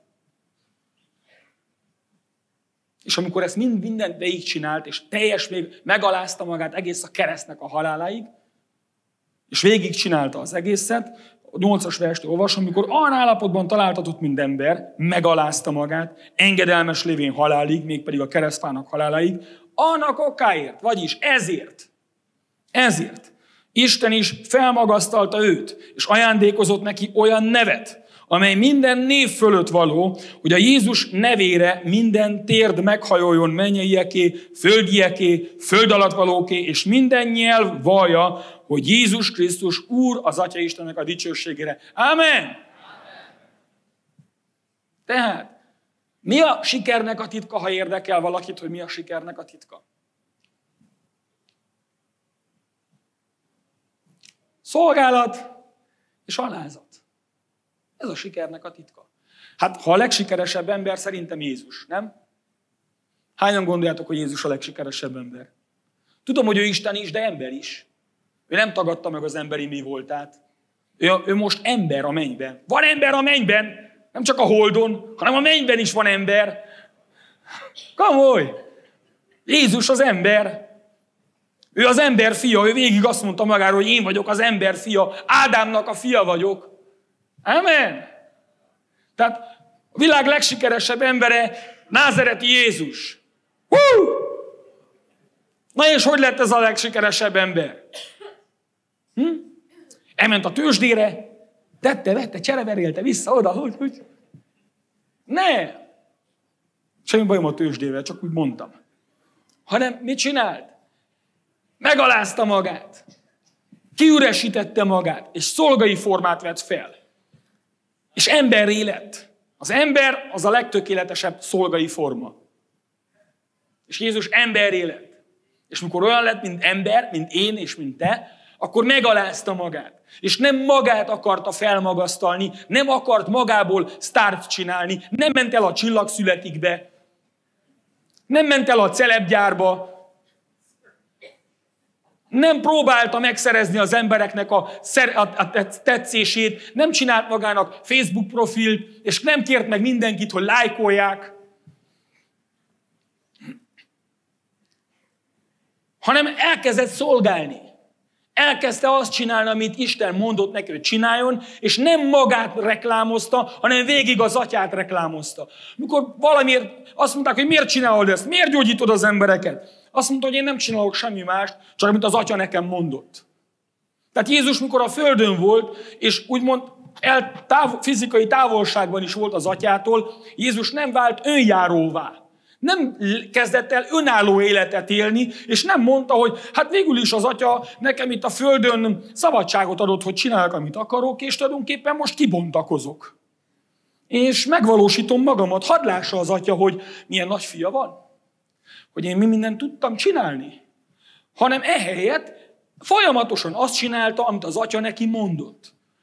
És ez úgy tűnhet egy mostani okos embernek, hogy ne nevezzem máshogy, hogy Jézus infantilis volt. Hát ha igen, akkor én is ilyen infantilis akarok lenni. Hogy ő nem akar többet csinálni, mint amit az atya mondott neki. Ő nem akarta túl teljesíteni az atyát, és ő nem akart olyan dolgokat csinálni, amivel magára, a reflektorfény magára húzza, hanem ő folyamatosan az atyára irányította vissza a reflektorfényt. És ez nem jelenti azt, hogy neki identitás zavara volt, és ilyen álszerénységben szenvedett, hogy ó, nem, na jaj, ne, ne. Nem, Jézus el tudta fogadni, pont azért, mert egészséges identitása volt, el tudta fogadni a tiszteletet. És amikor nekiadták a tiszteletet, akkor nem utasított el ilyen álszerény módon. Jött Mária, és oda ment Jézusnak a lábához, és megmosta az ő lábát a könnyeivel, a hajával megtörölte, és egy olyan értékes olajat kent rá, parfümöt kent rá Jézusnak a lábára, amely egy évi fizetése volt. Oké? Okay? Legyen egy 5000 eurós parfüm. Azt rátöltötte Jézusnak a lábára. Júdás, amikor meglátta az agyvérzési, a, a vénája így jött, így lüktetett így. Annyi pénzt kidobni egyszerre nem látott még ő se. Mondta, hogy mester, ez hogy lehetett csinálni? És Jézus nem mondta azt, hogy asszony, tudod, menj az atyát kenjed, menj oda a templomba, és oda a falra kent fel a kenetedet. Nem. Ő el tudta fogadni, mint egészséges ember, mint egészséges identitású ember azt is, hogy őt megtisztelték. Volt, hogy behívták vendégségbe egy házba, mert meg akarták tisztelni vele. És elment. És leült a farizeusnak a házába, és nyugodtan megette az ebédet. Nem úgy volt vele, hogy hú, hát én nem vagyok méltó ehhez, én adjátok nekem csak a farkát, nekem még az is sok. Szóval nem egy ilyen álszent ember volt, nem egy álságos ember volt, egy valóságos ember volt. Ha megtisztelték, örült neki, hogyha megtisztelték. Ugyanakkor nem vette magára túlzottan a nagy dicséretet se. Ugyanis nagyon jól tudta, hogy azok az emberek, akik egyszer dicsérik, azok ugyan másnap szidni fogják.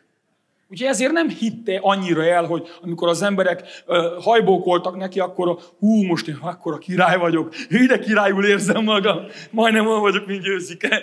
Hanem, hanem, hanem, hanem, hanem megmaradt normálisnak.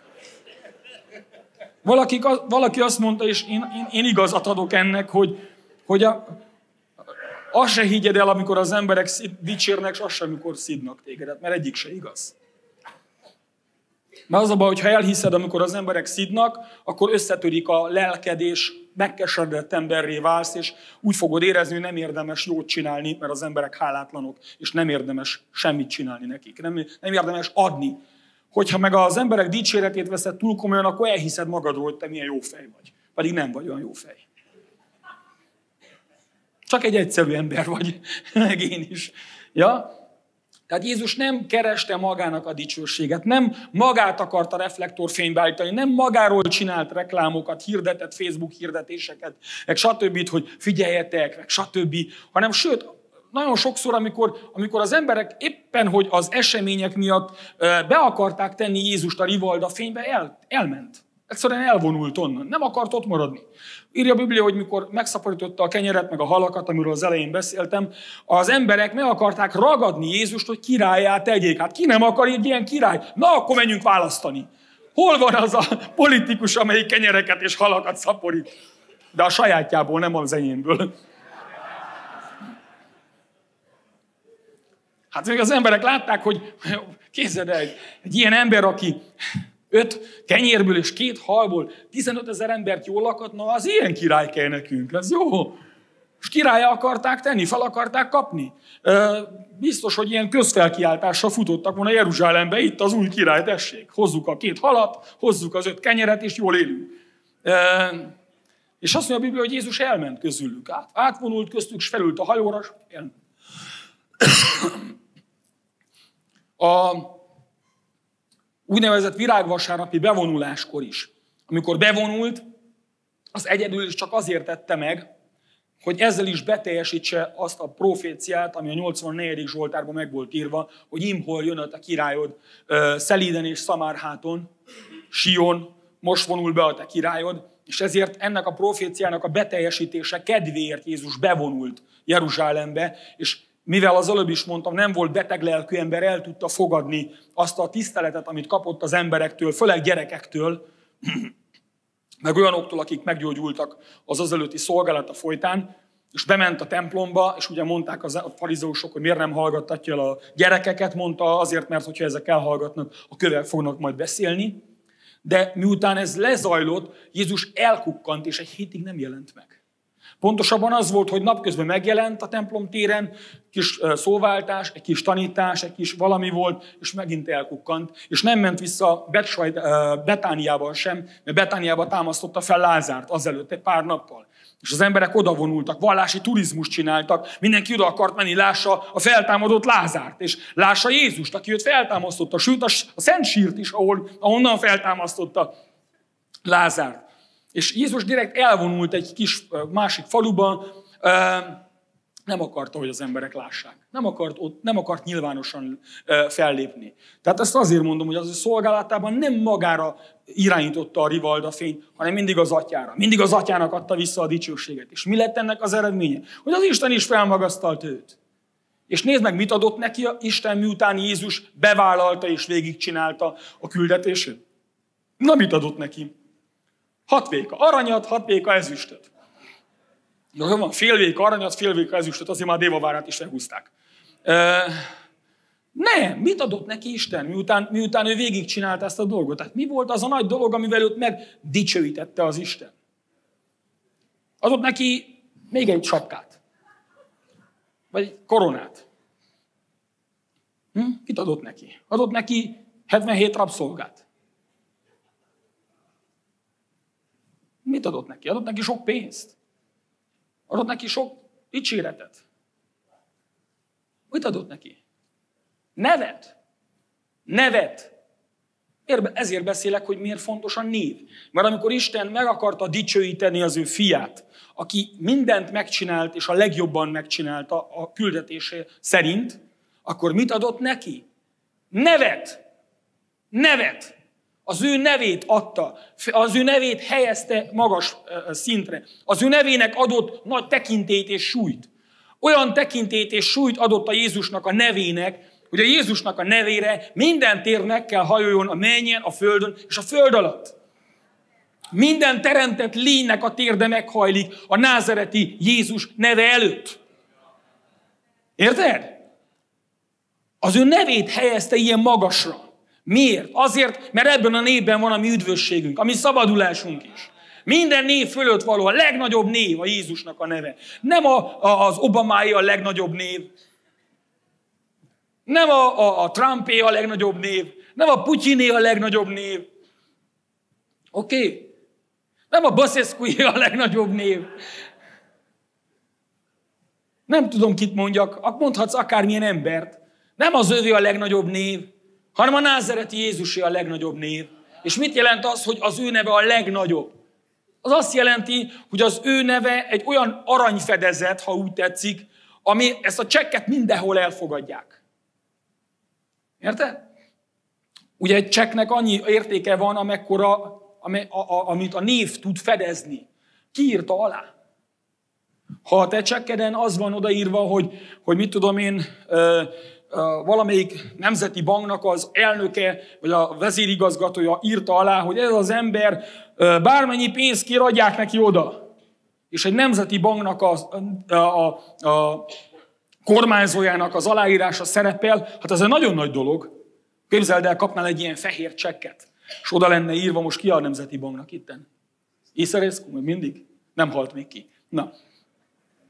Tehát kapnál egy fehér csekket, és rá lenne írva a te neved, és az lenne odaírva alája, hogy ennek az embernek bármennyi pénzt adjanak oda, amennyi csak kér, garantálok, a Nemzeti, Román Nemzeti Bank kormányzója. Kapnál egy ilyen papírt, mennyit érne az? Hát amekkora pofád van, nem?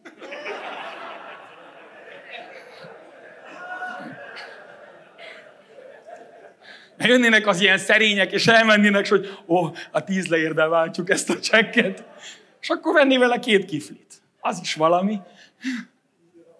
De hogyha nagyobb pofád lenne, akkor ráírnál mondjuk tízezer eurót, de hát az se semmi. De hát az is kicsi dolog, hát veszel egy autót, még nem is egy nagyon jót. De ráírhatsz egy millió eurót is, mert fehér csekk. Azt írsz amit akarsz. Hát ha a kormányzó úr annyira megbízik benned, hogy kitöltetlen csekket odaad neked, és azt mondja, hogy bármit írjál rá.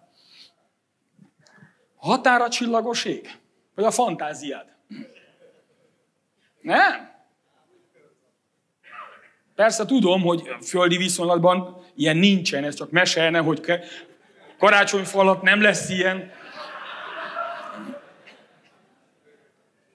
De egyébként meg nem mese, mert Isten adott neked egy ilyen csekket. Tudtad? Ott van lehet a kezedbe. Azt írja rajta, hogy Szent Biblia. Nekem ilyen kütyüben van benne. Érted? És az, ami ott benne van, az a tiéd. És azt mondja, hogy nem a Román Nemzeti Bank kormányzója garantál érte, hanem a világ mindensének a legnagyobb neve. A názereti Jézus Krisztus. És tölts ki, amit akarsz. Na, mit szeretnél? Tudod, hogy abban, hogy mennyi áldást kapsz Istentől, a legnagyobb akadály nem a körülmények, nem a hely, ahol élünk, Románia, nem Isten egyáltalán, hanem a saját kicsinyességed. Meg a saját gátlásaid. Mert ráírhatnád azt, hogy szeretném, hogy egészséges legyen. Az túlzás. Hát Isten nem, nem adhat segít. Mondta a papbácsi is, hogy egészséget azt nem, azt az orvostól kell kérni. Abból is csak kicsit. Hát, családi békét akarunk. Jó, azt fogsz kapni. Nem mondod, hogy de miért nem gyógyultam meg? Hát de miért nem írtad azt oda? Múltkor elmondtam egy helyen, Kolozsváron, és magam is meglepődtem, mert nem gondoltam eddig arra sose, de nagyon érdekes volt ez a dolog, hogy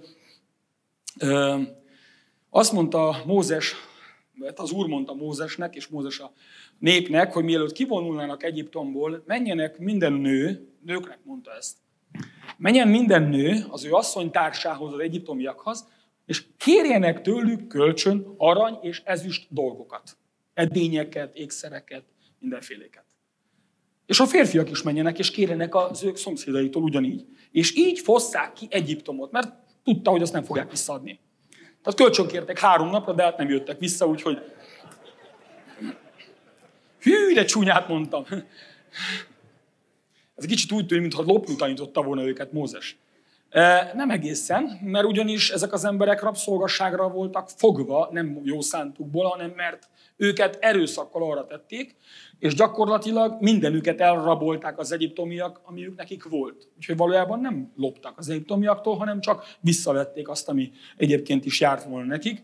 De most ebben nem akarok magyarázkodásra belemenni, de nem ez a lényeg.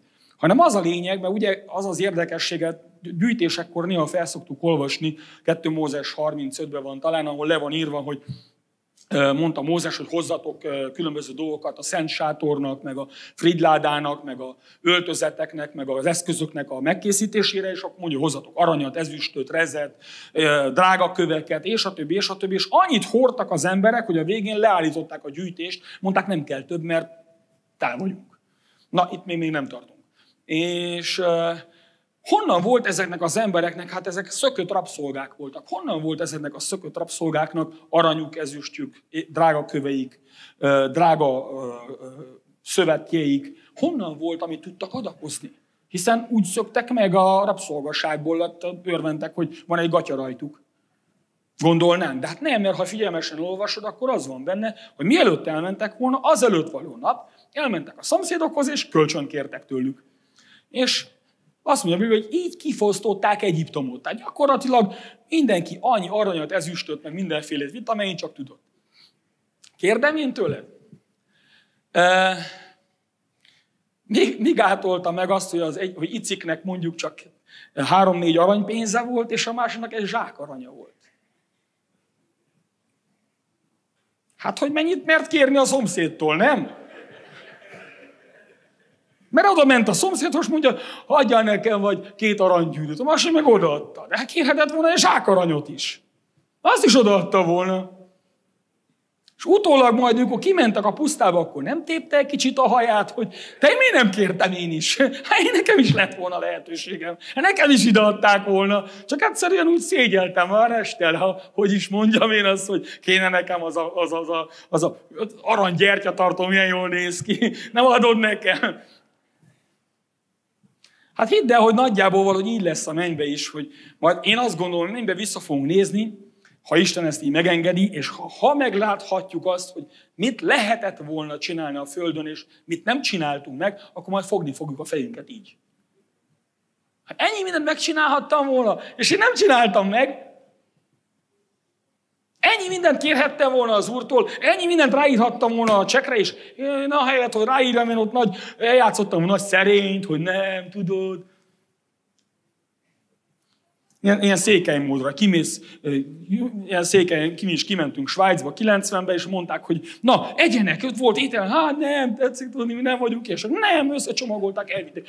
Hát de, ha megszoktuk, édesanyám háromszor kérdi meg, és akkor mikor már elég érzi, hogy mennyire jót teszünk vele, hogy megesszük az ételt, akkor elfogadjuk. De ezen meg elcsomagolták. És akkor megtanulta a székely, hogy elsőre kell szökni neki.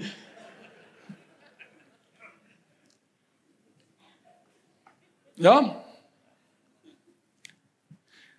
Tehát Jézusnak olyan nevet ajándékozott az atya, amelyik minden név fölött való. Azért, hogy Jézusnak a nevére minden tér meghajoljon. Hogy minden nyelv megvallja, hogy Jézus Krisztus az Úr az Atya Isten dicsőségére. És hadd mondjak még itt egy dolgot, ami úgy gondolom, hogy nagyon nagy, nagyon nagy igazság, hogy az Istennek az egyik, hogy ha itt tetszik, a humora.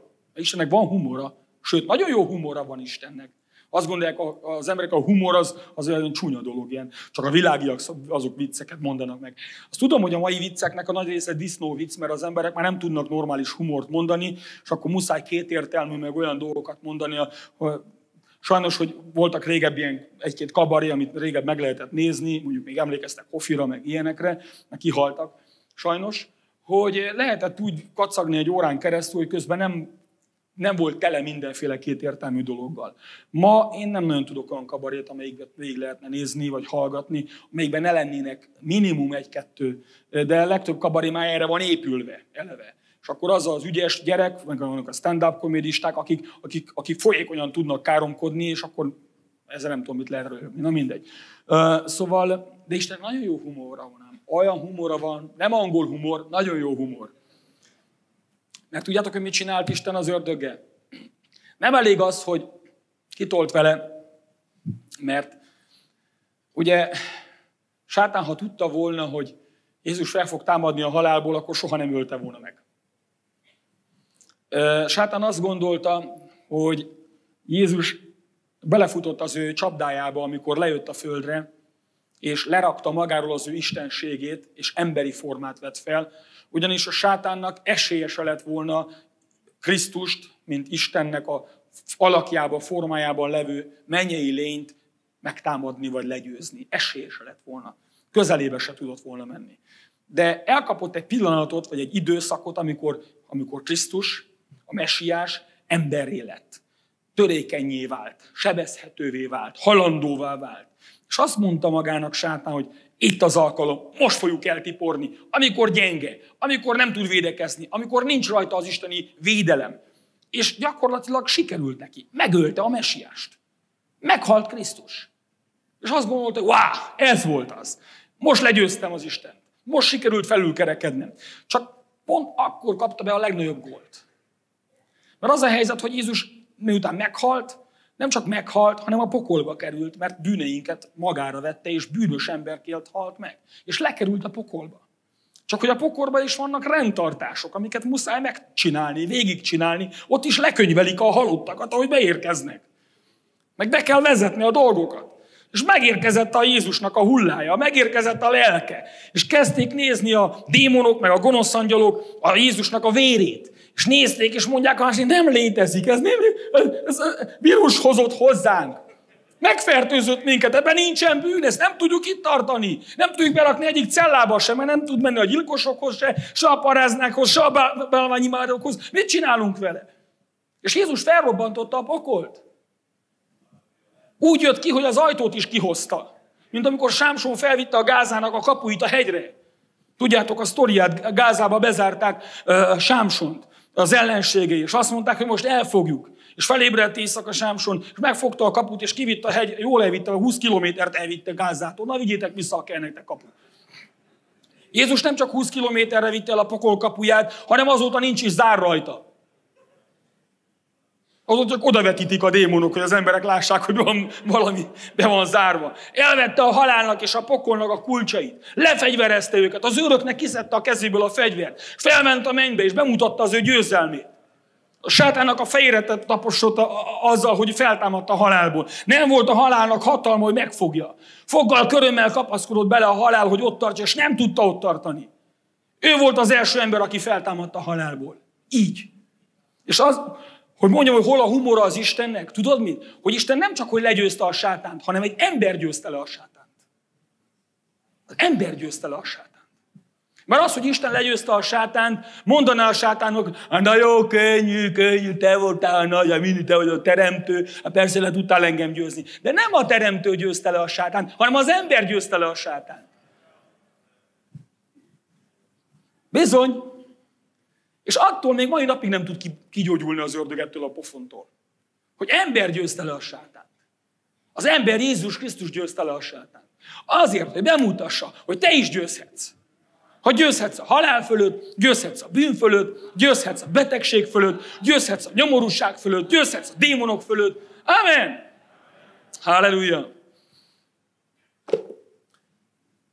Még egy igét olvasok fel, vagy kettőt, és befejezem, jó? Komolyan nem mondom végig, mert hosszú lenne. Csak azt akarom elmondani, hogy egyébként ezek után az egyháznak, nekünk, az egyik fő jellemzőnk, tudod mi? Elolvasom az Abcsák 9.14-et. Én sem figyeltem erre fel sokáig, de hogy keresgéltem ezeket az ígéket, szemembe akadt, meg a, úgy hiszem a Szent Szellem mutatta meg. Abcsál 9.14. Ez egy más sztorinak egy részlete, amit én most kimondok itt. És itt is hatalma van a főpapoktól, hogy mindazokat megkötözze, akik a te nevedet segítségül hívják. Ezt Ananiás nevű tanítvány mondja, mikor a Szent Szellem szól neki, hogy menjen és imádkozzon Pálért, vagyis akkor még Saulért, aki ott van az egyenes utcában, Anani, a, a, a, vakon és nem lát, és mondja neki a Szent Szellem Ananiásnak, hogy menjél és imádkozzál párjára, és mondja, hát azért nem biztos, hogy jó lenne, mert hogy ez az ember, aki üldözi az egyházat, és itt is hatalma van a főpapoktól, hogy mindazokat megkötözze, akik a te nevedet segítségül hívják. Most ezt akarom kiemelni. Hogyan definiálja Ananiás a keresztényeket? Kik azok, akik keresztények? Kiket üldözött Pálapostól? Azok, akik az Úr nevét segítségül hívják. Tudod, kik vagyunk mi? Akik az Úr nevét segítségül hívjuk.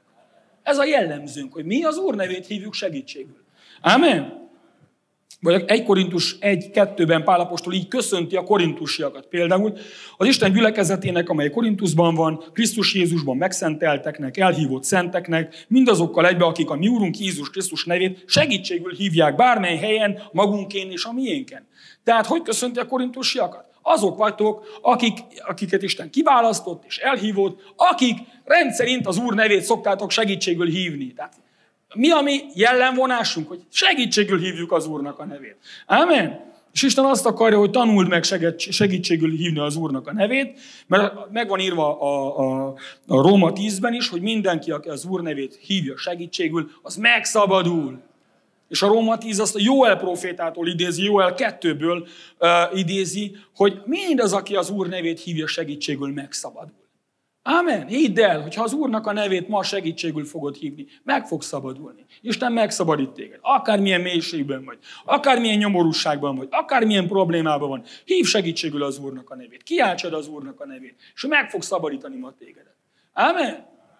Mert ő hűséges. Csak gyorsan felsorolok egy pár dolgot, hogy Jézus miket tesz, az ő neve miket tesz. Nem fogom kikeresni az éjeket a rövidség miatt.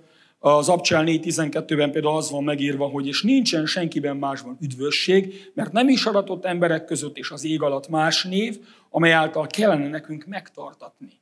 Amen. Péter ezt a, a, a nem a pünkösdi prédikáció, hanem utána, miután a, a vakot meggyógyították, utána mondta ezt el a templom téren, és azt mondta, hogy nincs más név, nem adatott más név, amelyben van megtartatás. Sem a menjen, sem a földön, sem a föld alatt, csak a názereti Jézusnak a neve. Nincs más név. Allahnak a nevében, Mohamednek a nevében, Buthának a nevében, és az összes többi vallás alapítónak a nevében sem lehet megmenekülni. Csak a Jézus Krisztusnak a nevében lehet megmenekülni.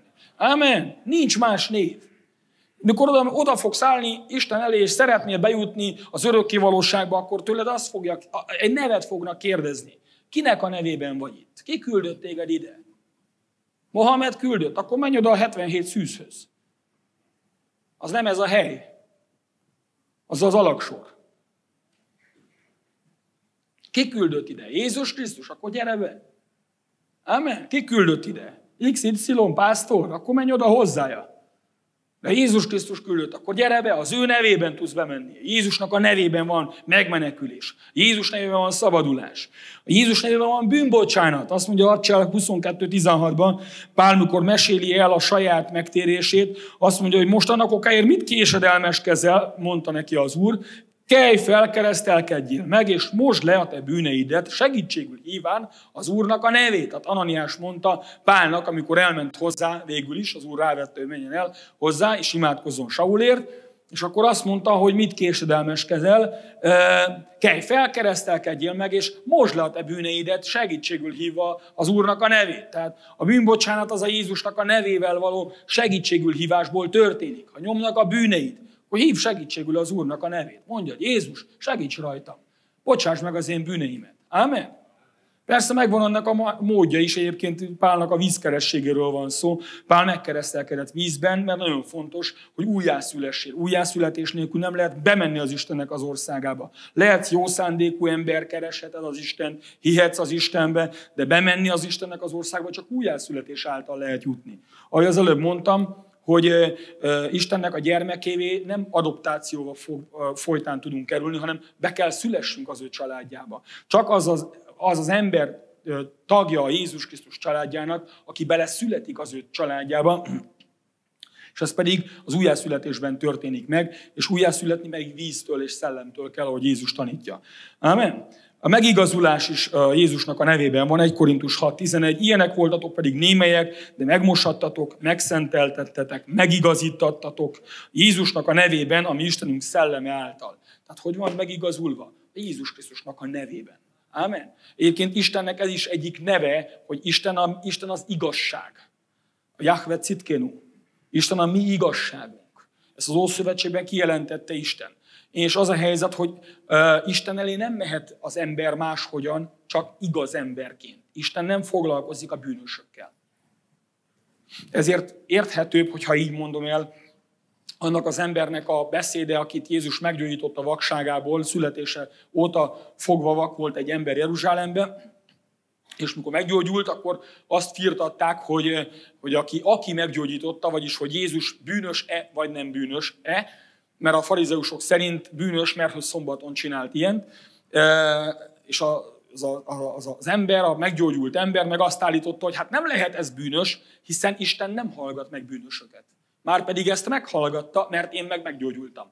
És ez nem nagyon igaz, amit ez a vakember mondott, hogy Isten nem hallgat meg bűnösöket.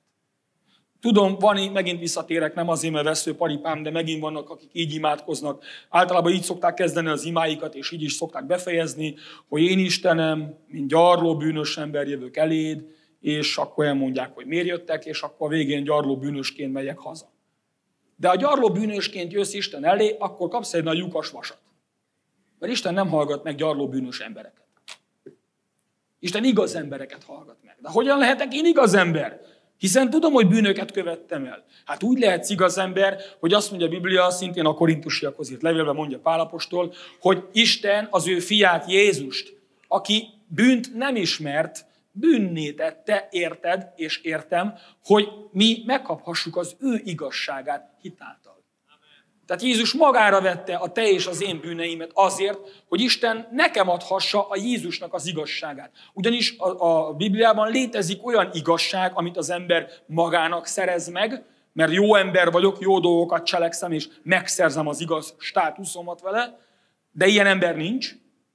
Vagy pedig van olyan igazság, amit tulajdonítanak nekem, ami nem az enyém, hanem nekem adják. És a Zsoltárokban azt mondja Dávid, hogy boldog az az ember, akinek az úr, az úr bűnt nem tulajdonít.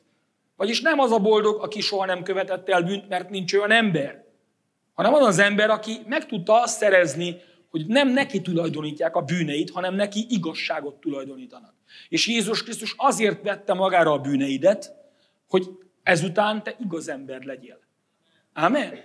És a megigazulást a Jézusnak a nevében kaptad meg. Amen. És akkor, amikor ezután oda mész az atyához, akkor nem a te igazságodnak a nevében mész oda, hogy Uram, te tudod, én elég jó, ilyenkor szoktak a gyerekek ilyeneket írni, de nem maguktól írják, hanem a felnőttek viszik rá ilyen butaságra, hogy írják a télapónak a levelet, hogy egész évben jó voltam, most akkor igaz megkapom a korcsolyát, vagy a nem tudom mit, vagy az iPad-et, vagy az iPhone-t, amit kértem tőled. Pedig tudja jól a gyerek, hogy nem volt jó egész évben. Mi az, hogy egész évben? Öt percig se volt jó.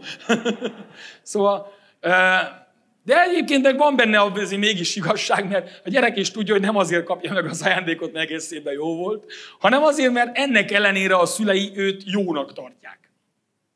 És akkor egy tulajdoníthatott igazságnak a nevében jön a szülőkhöz, és kér tőlük ajándékot karácsonyra. Ja? Bármi, amit kérünk Istentől, azt nem kérhetjük a mi nevünkben, mert a mi nevünkben nincs igazság, hanem a Jézus nevében tudjuk kérni. Mert amikor, a, amikor kérünk Istentől a Jézus nevébe, akkor nem ránk néz, hanem Jézusra néz. Arra a névre néz, akit oda hívsz.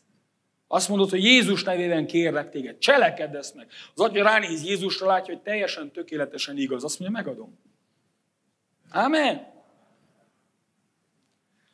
Halleluja. Még egy dolgot mondok, és az a vége. A gyógyulás. A gyógyulás.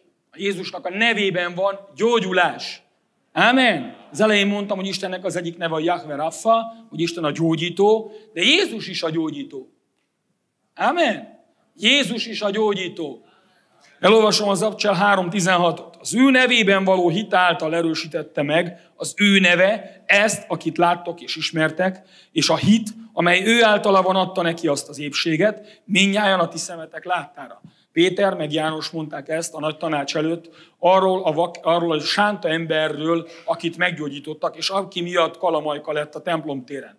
Mert volt ott egy ember, aki több mint 40 éve nyomorékon koldult minden nap a templom bejáratánál, a kapunál. És születésétől fogva nyomorék volt az ember. És egy alkalommal, mikor Péter meg János mentek fel a templomba, azt mondták ennek az embernek, hogy figyelj rám, ezüst meg aranyunk nincs de amink van, azt adjuk. És a Jézus nevében, tehát ebben a névben, kelj fel, és jár. És megfogták azt az embert, és felállították a lábára. És az ember egyből elkezdett járni. Egyből elkezdett járni. Ez csoda, barátom, ez teljesen csoda. Ha nem tudom, hogy ha hányan éltétek már ilyen, tehát nem kellemes élmény, nem kívánom senkinek, csak van, aki már túl van rajta, akkor azt tudja, hogy ha volt olyan, hogy valamelyik végtagot gipszben volt három-négy hétig, mondjuk a lábad vagy kezed, most speciál a lábra gondolok, hogy négy vagy öt hét gipsz után nem tudsz járni. Mert hogy az izmaidat nem használtad, nem tudsz rálépni a lábadra. Hanem el kell kezdeni megint megtanulni járni. Jól mondom? Nekem is volt így a lábam szétmenve, hála Istennek, hogy már nem úgy van. Nekem októberben történt a balesetem, akkor tört szét a lábam több helyen, és január végén kezdtem el megtanulni járni. És meg kellett tanuljak újból járni. Hiába a műtét után, hiába állított volna fel a doktor úr a lábamra, és mondta volna, hogy tessék, fussál haza, nem tudtam volna mit csinálni. Rá se tudtam ereszkedni a lábamra. Képzeld el ennek az embernek nem, hogy négy hétig gipszbe volt a lába, és elsorvadtak esetleg egy picit az izmai, hanem soha életében nem járt vele. Lehet, hogy nem is volt egyenes a lába. És Péter meg János megfogták ezt az embert, és annyi időt adtak Istennek a gyógyításra, ameddig felállították. Na most menj, és az ember elkezdett ugrálni is. Híhá! És így Jákobra befutott a templomba.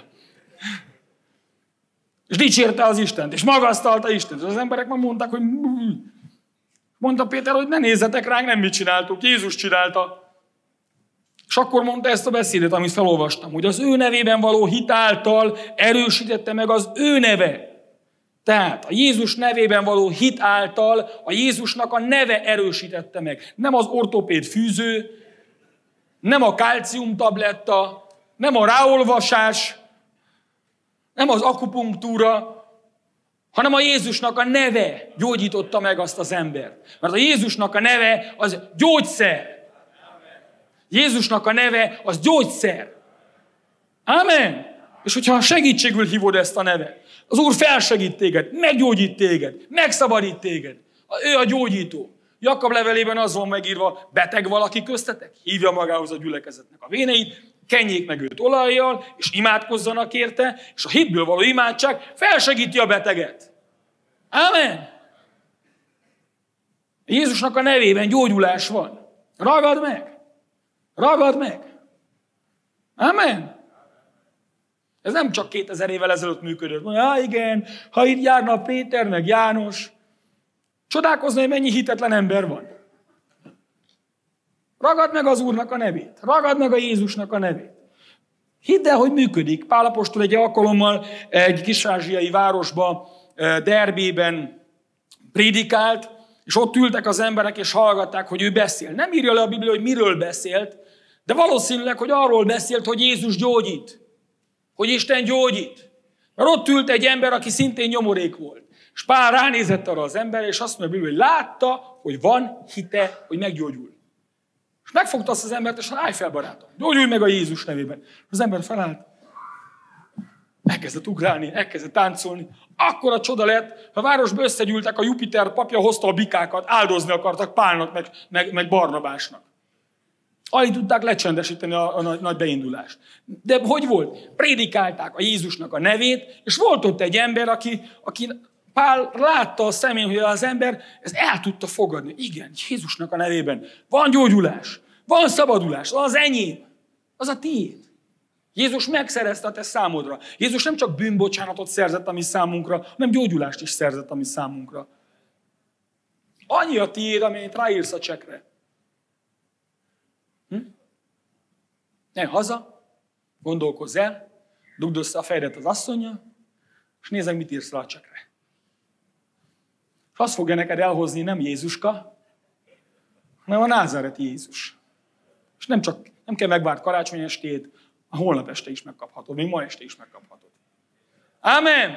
Hát én köszönöm, meghallgatotok, mert kicsit elment az idő.